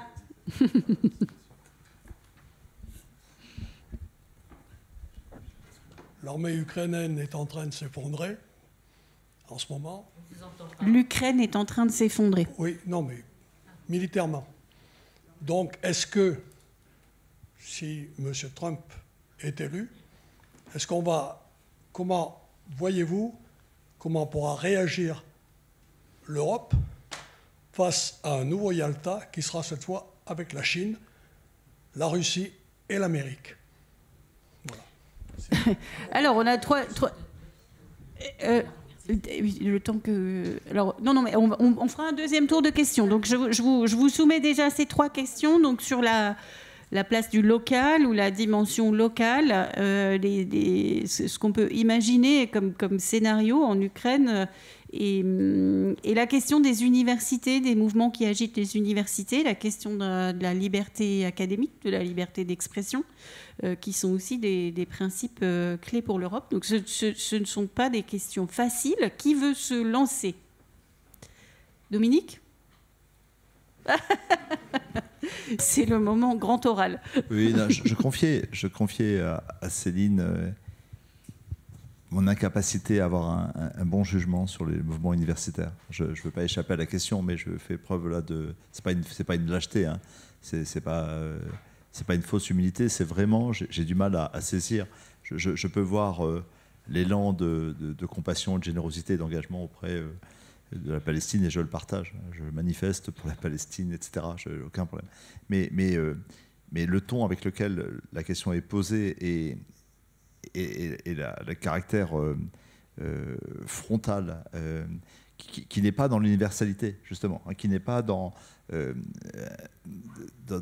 me, terrifie, c'est-à-dire que tout ce que ça porte comme violence potentielle, tout ce que ça réveille comme souvenir tragique me terrifie. Donc je, suis ambivalent et, voilà. Donc je, suis sur d'autres terrains. J'accueille à l'Assemblée dans trois semaines une démarche autour de la paix, des forces de paix, euh, même avec les guerrières de la paix, euh, euh, qui franco-israéliennes, machin. Donc je, suis, plutôt que de répondre à rentrer à dire c'est bien ou c'est mal, j'ai envie de dire plutôt ce que j'essaye de faire dans le dialogue à la fois avec la communauté juive sur le territoire, avec les communautés proches des Palestiniens, etc. Et je vous assure que dans ce dialogue local, on a de beaux résultats et j'essaie de le projeter aussi à l'Assemblée, mais je sens que quelque chose de plus puissant et qui me fait peur, est en train de se jouer, mais je n'en ai pas toutes les clés, donc euh, humblement, je ne vais pas plus commenter. Je voulais ne pas, ne pas euh, esquiver la question, mais je n'ai pas grand-chose à dire, je vous demande pardon. Euh, sur, sur je voulais juste, je, vous m'avez, on se confiait avec ma voisine pendant que le micro tournait, que finalement, réaffirmer, s'il y a une puissance, Marie, sur laquelle on va être d'accord, vous étiez contre l'Europe puissance. C'est bien l'idée. Contre le terme. Non, non, non, contre le terme, mais parce qu'il est, il est trop usé, on en abuse, etc. Et il peut faire le réveil de l'Empire, etc. Bon, souvenir euh, d'une nostalgie euh, non fondée et tout. Euh, moi, j'aime bien l'idée d'Europe puissance publique. Parce que ça, c'est fondamental. quoi. Est-ce qu'on est dans une marchandisation globale sur la planète et que, et, que, ou des systèmes totalitaires, ou une sorte de grande marchandisation, le monde marché, ou est-ce qu'il y a un espace où la puissance publique, fondée sur la démocratie et sur des principes, je repense quand même à la révolution des œillets. Moi, j'étais invité dans ma circo à une euh, manifestation tardive ce dimanche-là euh, de la communauté portugaise d'une des villes ouvrières. Et, le slogan, vous vous rappelez, du 25 avril, hein, euh, c'est le peuple qui commande. Eh bien, l'Europe, c'est le peuple qui commande, c'est les peuples qui commandent, ensemble, dans un espace public fondé sur des principes c'est ça l'histoire européenne. Et ça doit irriguer chacun de nos territoires. Moi, je suis heureux comme parlementaire, d'animer encore un groupe d'action locale qui anime des fonds européens qu'on a orientés vers la transition écologique. On vit de belles aventures autour de la solidarité alimentaire, autour de la mutation des systèmes, des productions, de l'économie sociale, etc. Et l'Europe nous oblige et je n'arrête pas de le dire, à mettre la moitié de personnalités de la société civile à côté des élus. Donc l'exigence démocratique dans un État qui est de plus en plus quand même, centralisé, vertical et tout, elle nous oblige, je trouve ça génial à chaque fois, à mettre la moitié d'entrepreneurs, de responsables associatifs et de les forcer au dialogue dans le discernement pour mettre chaque euro européen au bon endroit pour faire, pousser des graines qui fassent euh, du bien, etc. Et eh ben ça, c'est l'Europe qui s'incarne dans les territoires. On doit l'incarner dans la diversité de nos territoires. L'unité dans la diversité, c'est l'unité de principe dans une maison commune qui est une, qui est, qui est une puissance publique et qui s'incarne dans la diversité des territoires, avec ce souci permanent de la justice, de la justice, de la justice. Moi, c'est pour ça que je suis à gauche. Hein. Sinon, c'est pour le reste, on serait simplement européen, quoi. Mais je suis, voilà, c'est la question de la justice est, fondamentale. Elle est fondamentale. C'est la question de, il faut, l'Europe, elle doit se battre pour la dignité euh, des travailleuses du textile du Bangladesh, mais c'est l'oubli euh, les travailleurs euh, de, la sidérurgie de ma région et elle trahit sa promesse. Céline, euh, vous parlez de, République fédérative d'Europe et c'est vrai que dans votre livre Nos démos, euh, vous expliquez très bien ce que peut être euh, une souveraineté partagée. Donc a priori comme ça on se dit que c'est une notion compliquée, mais après vous avoir lu c'est beaucoup plus simple. Est-ce que ça veut dire aussi que l'Europe doit aller chercher du, au-dessus du niveau du national, mais aussi en dessous?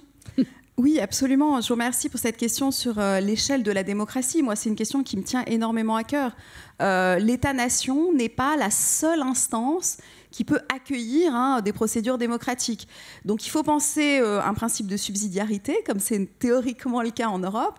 C'est-à-dire, en effet, je pense que c'est un très simple principe de dire que les choses doivent se régler au plus près du citoyen et que si on peut les régler à l'échelon local, régional, ben, c'est parfait on passe, on monte en gamme euh, sur certaines questions au niveau national, et il y a d'autres questions qui se traiteront au mieux, c'est-à-dire de la manière la plus juste et éventuellement aussi la plus efficace, au niveau supranational.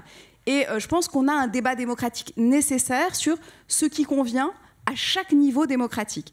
Je voudrais dire que moi, la République fédérative fondée sur la souveraineté partagée, c'est pas une république centralisée, bureaucratique, avec un fédéralisme exécutif. C'est au contraire euh, une idée, effectivement, qui peut très bien partir.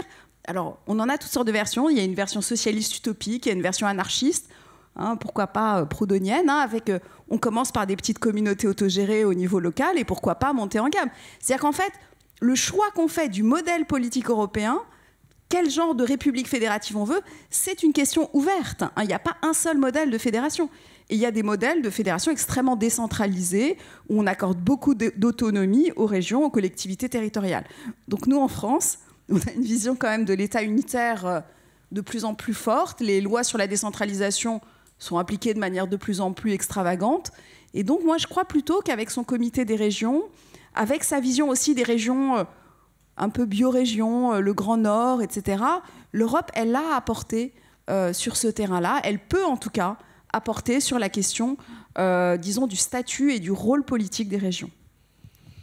Merci. Alors, il y avait un certain nombre de questions qui sont plutôt pour vous, Marie, et en reconnaissant que c'est quand même difficile parce que vous n'avez pas de boule de cristal, et donc c'est toujours très difficile de faire des prédictions, mais qu'est-ce qu'on peut imaginer qu'est-ce qui pourrait se produire et, peut-être aussi où est-ce qu'on a des leviers d'action? Tout, à fait.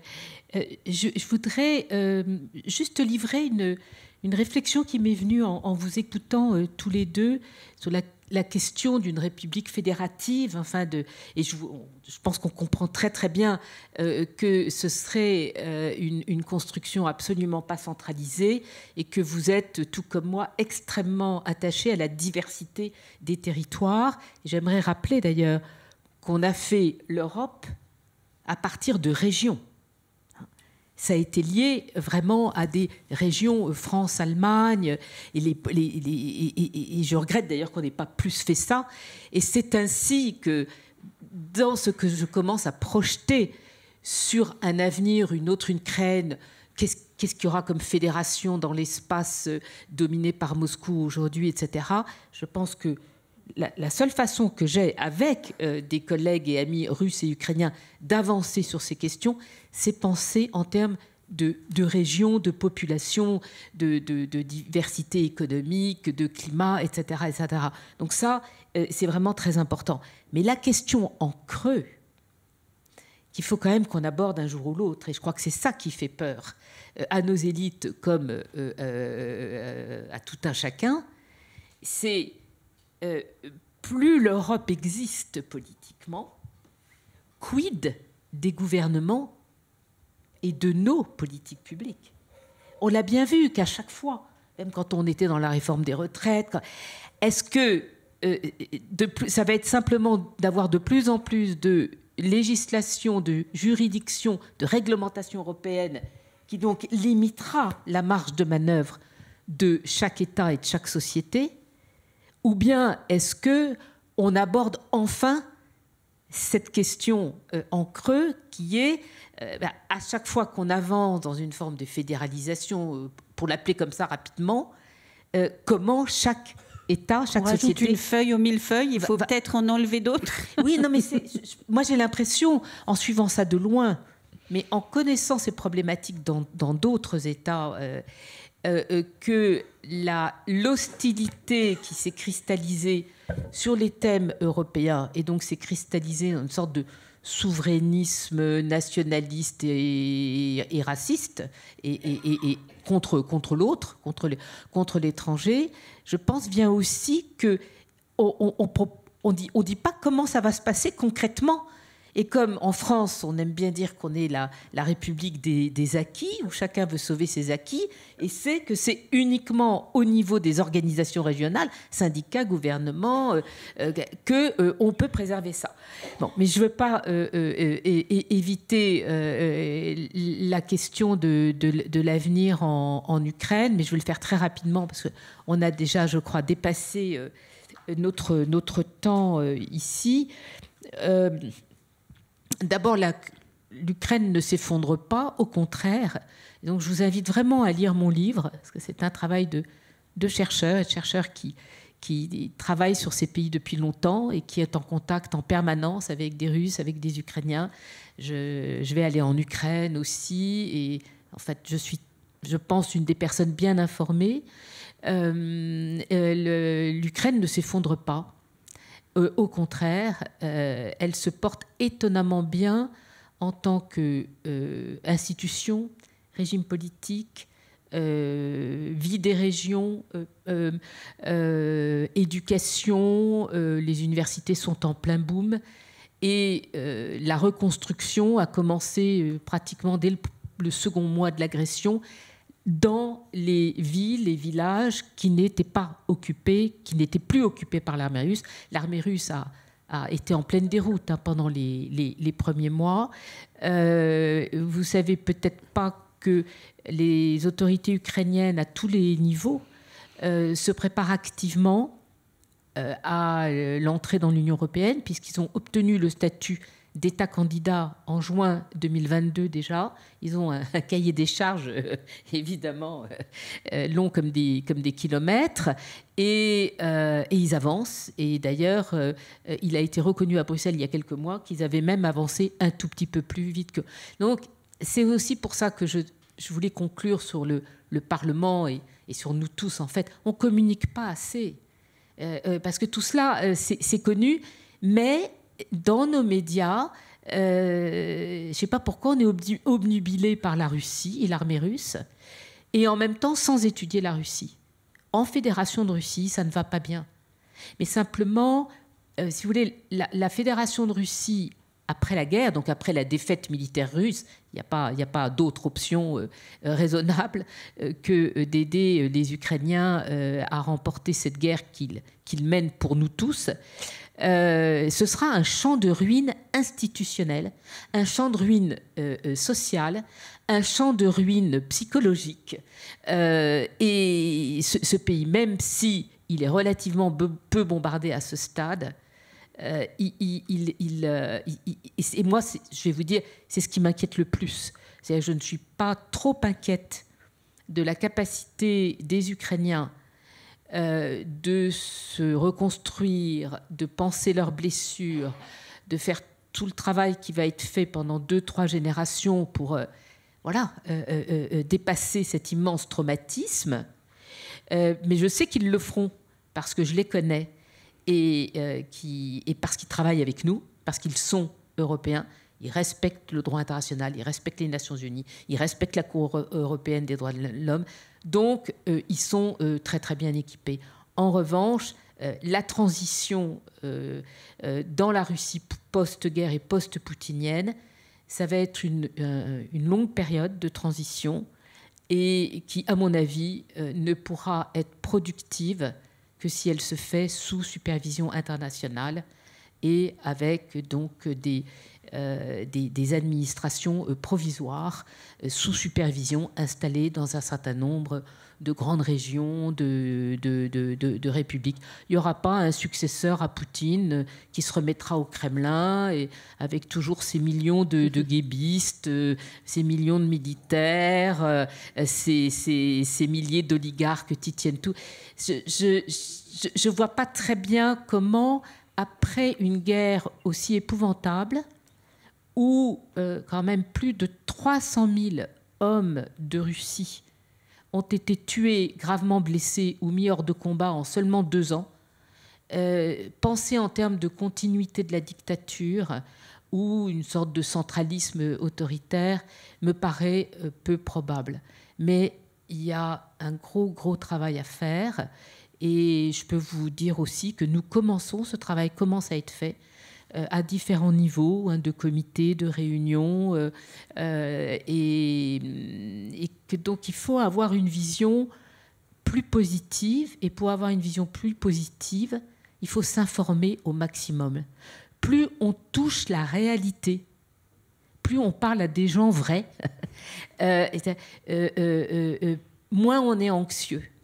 Parce que, voilà, on voit, on peut toucher comment les gens vivent, comment ils continuent euh, à travailler euh, en Ukraine, euh, et, ce qui permet de ne, de ne pas sauter, je dirais, d'un débat télévisé à un autre, en passant d'une émotion plutôt négative à une autre émotion négative. Et là, l'Europe, l'Union européenne, mais pas seulement, mais tous les Européens, tous les pays européens, joueront un rôle essentiel. Et c'est ce qu'attendent les Ukrainiens. Merci Marie pour cette mise en perspective. Alors voilà, donc là, euh, euh, ça va encore. Est-ce qu'on peut prendre une deuxième et dernière série de questions? Je, me tourne vers nos intervenants qui, sont à un timing un peu serré. Euh, donc on peut prendre encore trois questions, je pense, et après il faudra qu'on s'arrête. Et si vous pouvez poser des questions rapides, voilà. Merci. Philippe Segretin, membre d'Esprit Civique. nous avons entendu jeudi le président de la République faire non pas un discours politique, mais une conférence géopolitique ah bien intéressante. Mais par-delà ce que vous avez très justement rappelé, c'est-à-dire la montée en puissance des extrêmes droites dans tous nos pays, si on prend le reste de la communauté politique, est-ce que vous voyez apparaître de manière transnationale une force politique capable de mettre en œuvre ce que vous avez évoqué, à savoir la transition écologique ayant une forte dimension sociale, mais aussi la capacité de l'épreuve de la guerre. Est-ce que vous voyez Dominique Potier en tant qu'acteur, mesdames en tant qu'observatrice avisée, est-ce que vous voyez monter en puissance un ou des courants transnationaux capables de s'emparer de ces défis? Alors, comme on n'est pas ici pour faire campagne, enfin, moi, je transformerai un peu la question. on va prendre les deux autres questions. Euh, voilà, c'est la question aussi de l'espace public européen, enfin, de questions qui peuvent se poser de manière transnationale. Alors, on avait une deuxième question. Oui, monsieur. À qui a un micro dans la main? Voilà, monsieur, pardon. Bonsoir. Euh, bon, je ne suis pas très à l'aise à parler en public, mais enfin, euh, j'ai noté un peu certaines choses. Alors, soyez un peu patient. Donc, je suis d'accord. Donc, euh, tout d'abord, je vous. Je ne vais pas vous bousculer, mais donc on, a un petit timing un peu, euh, un peu serré. Allez-y, monsieur, on vous écoute. Euh, déjà, vous me pressez. Alors... Ah oui, je vous presse sans vous presser, mais bon. Alors, bon je, je, je, vous remercie de, de, tout ce débat. Je suis d'accord avec le programme des mesures à prendre dans la nouvelle législation européenne. Vous étiez tous Vous avez tous Assez d'accord. des Mm. choses très intéressantes. Je suis aussi d'accord avec euh, et admiratif avec la vision idéaliste d'universalisme euh, que vous avez, monsieur, euh, par rapport à l'identité européenne, hein, et de considérer non pas seulement l'Europe comme une maison commune, mais le monde comme notre maison commune. Au-delà, j'ai l'impression qu'il s'est passé quelque chose en 89 dont vous avez occulté dans votre débat, qui est la chute du communisme. Et le communisme s'est effondré par lui-même. hein. Et c'est une idéologie qui s'est effondrée à ce moment-là. Et là, je reprends vos termes de société. Effectivement, par les sociétés, si on entend par les sociétés, les syndicats et la résistance des individus à l'oppression. Alors, donc là, il y a quelque chose de plus grave qui se passe. Depuis 1999, c'est-à-dire quand Yeltsin a nommé Poutine euh, comme Premier ministre afin qu'il règle le problème de la Tchétchénie. À partir de ce moment-là, certes, Poutine était anticommuniste, mais c'est un agent du KGB, et puis il a, fait une nouvelle idéologie. Et là, euh, et il se réclame d'une nouvelle idéologie. Et là, je fais référence au niveau du, au bouquin de Snyder, euh, la, Timothy Snyder. oui. Snyder, voilà, euh, qui met en avance euh, le, le maître à penser de, de Poutine, qui est Iline. Alors, Alors, et là, il y a une nouvelle idéologie. Qui, qui- on a affaire à une nouvelle idéologie. Et comment lutter avec ça? Et pour- alors là, pour- monsieur, pour je, finir, je- je vais assumer, je suis obligée de vous presser pour arriver à la mais- question, mais pour être sûr qu'ils vont pouvoir répondre. J'en suis arrivé à la fin. puisque, Formidable. enfin, les, les- les questions euh, visent vous trois, enfin, c'est à vous trois. Donc, euh, finalement, aujourd'hui, l'Europe est le, la seule espace de liberté dans le monde. Et il y a une. Alors, euh, par rapport à, ce que vous dites, est-ce qu'il faut une homogénéité idéologique dans l'Europe? Ben, Il faut se poser la question, effectivement, mais avec l'extrême droite qui peut arriver, qu'est-ce que serait cette position idéologique? Et enfin, moi je pense que dire qu'il ne faut pas être une grande puissance, ça me paraît bizarre parce que l'Europe c'est un bébé, c'est comme si le bébé n'est pas devenu adulte qu'on craint qu'il soit un mauvais adulte quoi, par rapport à la puissance et l'empire. Voilà, moi je n'ai fini. Merci beaucoup. Donc il y avait une dernière question tout au fond de la salle, je crois. Ah, il y en a deux. Si vous allez très très vite, on peut prendre les deux questions. Mais très très vite. hein. J'ai fait des promesses à Dominique Potier notamment. Alors très vite, euh, sur le thème de la journée, de, de la soirée, le projet, opéra- le projet européen à l'épreuve de la guerre, la, la fin de la guerre ne serait-elle pas l'intégration de la Russie dans le projet européen sur des principes fondamentaux communs? Voilà une question simple pour terminer. Il y avait un monsieur tout au fond encore et après on arrête. Non, j'avais dit encore deux, mais. ah, non. Ah, c'était pas à ce monsieur-là que je pensais, c'était un autre monsieur devant. si c'est une question ultra rapide, on va prendre les deux. Allez-y, monsieur. Allez-y, allez-y, allez-y. Bon, merci beaucoup euh, et merci beaucoup pour euh, ce débat. Ma question s'adresse surtout à Marie Mandras euh, et notamment en ce qui concerne ce, clivage entre l'Europe et la Russie et les pays sandwich entre les deux. Et aujourd'hui, on a beaucoup parlé de ce qui est l'Europe, mais on a peu parlé de ce qui est la Russie. Euh, normalement, ça va de soi que c'est un pays à peu près monolithe, mais euh, le, le Parlement européen, dont on a mentionné plusieurs fois euh, aujourd'hui, a fait la déclaration qu'une des euh, préconditions pour euh, la paix après euh, cette guerre, c'est la désimpérialisation de la Russie, quoi que ça veut dire. Mais donc, euh, théoriquement, c'est pas exclu que la Russie pourrait s'effondrer comme c'était le cas avec euh, euh, l'Union soviétique. Et dans ce cas-là, est-ce qu'on ne parlerait pas de nouveau, encore une fois, de la création d'une encore nouvelle euh, Europe comme c'était en 99 Merci. avec... Merci pour aller jusqu'à jusqu'à l'autre océan. Alors, alors Monsieur, on va prendre encore votre question et après, par contre, le deal, c'est que chacun, a, voilà, un, petit mot de la fin pour pouvoir libérer tout le monde, pas trop tard quand même. Allez-y, monsieur. Oui, merci, merci. Euh, ma question concerne le, le tâtonnement de l'Europe. L'Europe tâtonne, à mon avis, malgré les, les préceptes que vous avez ébauchés tout à l'heure, c'est-à-dire, vous avez parlé de Montesquieu, vous avez parlé de Tocqueville, vous avez parlé de Kant.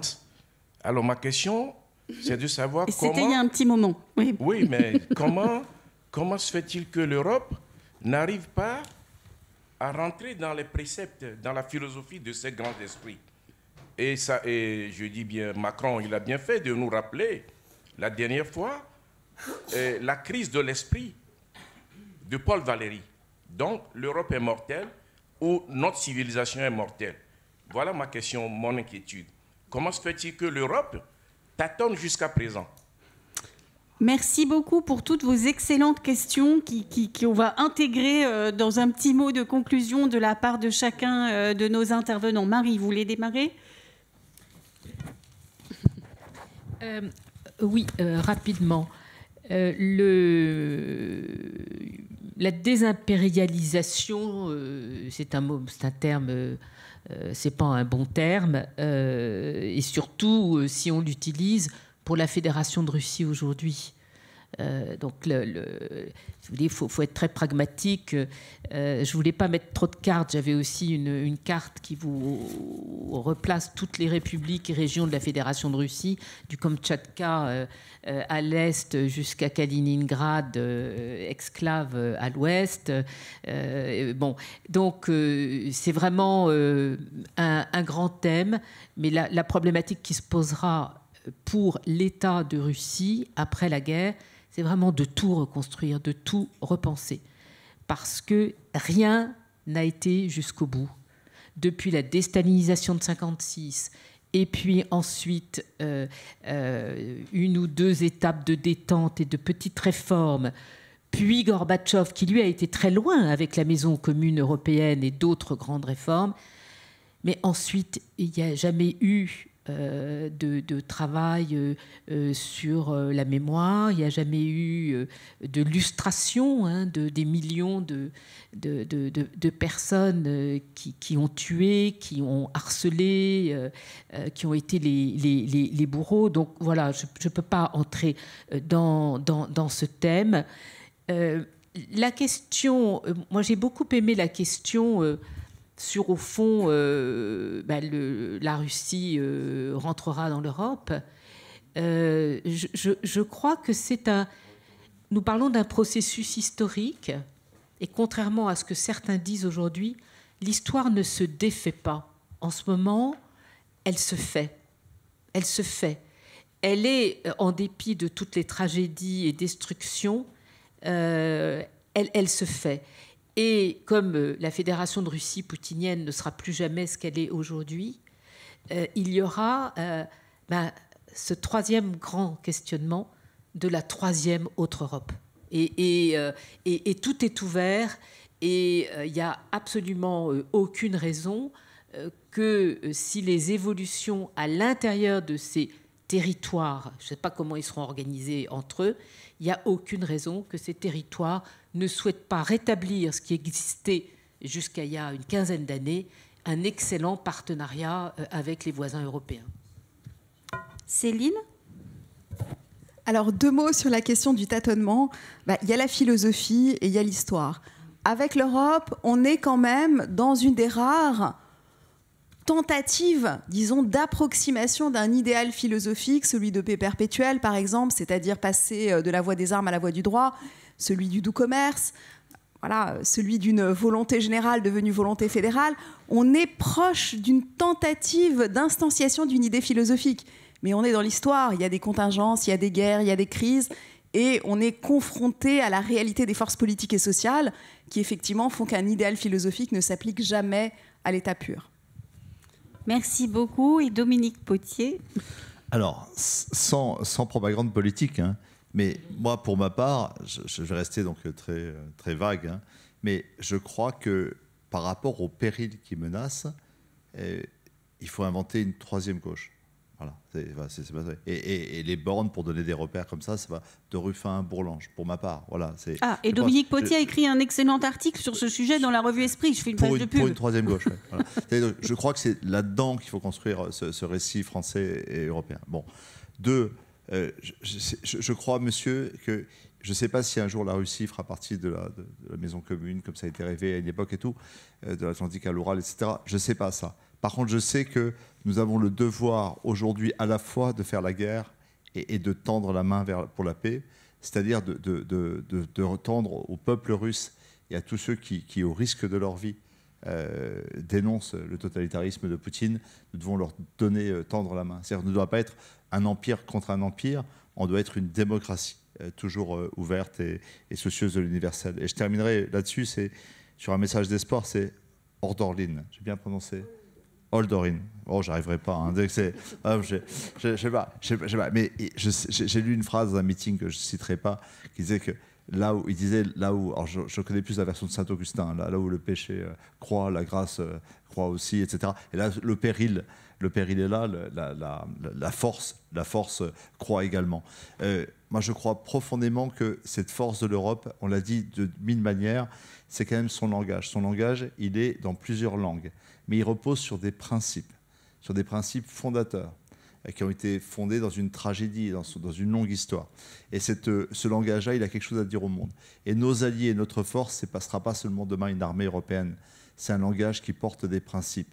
Et ce principe-là, il fera écho aux femmes qui risquent leur vie en Iran pour, euh, pour, leurs droits, à ceux qui se battent en Afrique pour leur développement ou pour la démocratie. Il fera écho partout dans le monde parce que c'est une force extraordinaire. Et ça me finit par me dire que, certes, nous devons combattre ceux qui essentialisent l'identité chrétienne dans une logique d'Europe forteresse, mais nous serions fous de mépriser la dimension spirituelle de ce qui anime au sens euh, étymologique euh, notre, notre, Europe et, ce qu'elle porte dans le monde. Un grand merci à tous les trois, Dominique Potier, Céline Spector, Marie Mindras, pour un débat très riche. Et merci à la BPI de nous avoir euh, accueillis cette fois encore. Je, je, peux dire que ces débats vont reprendre euh, plutôt à la rentrée. Merci à tous.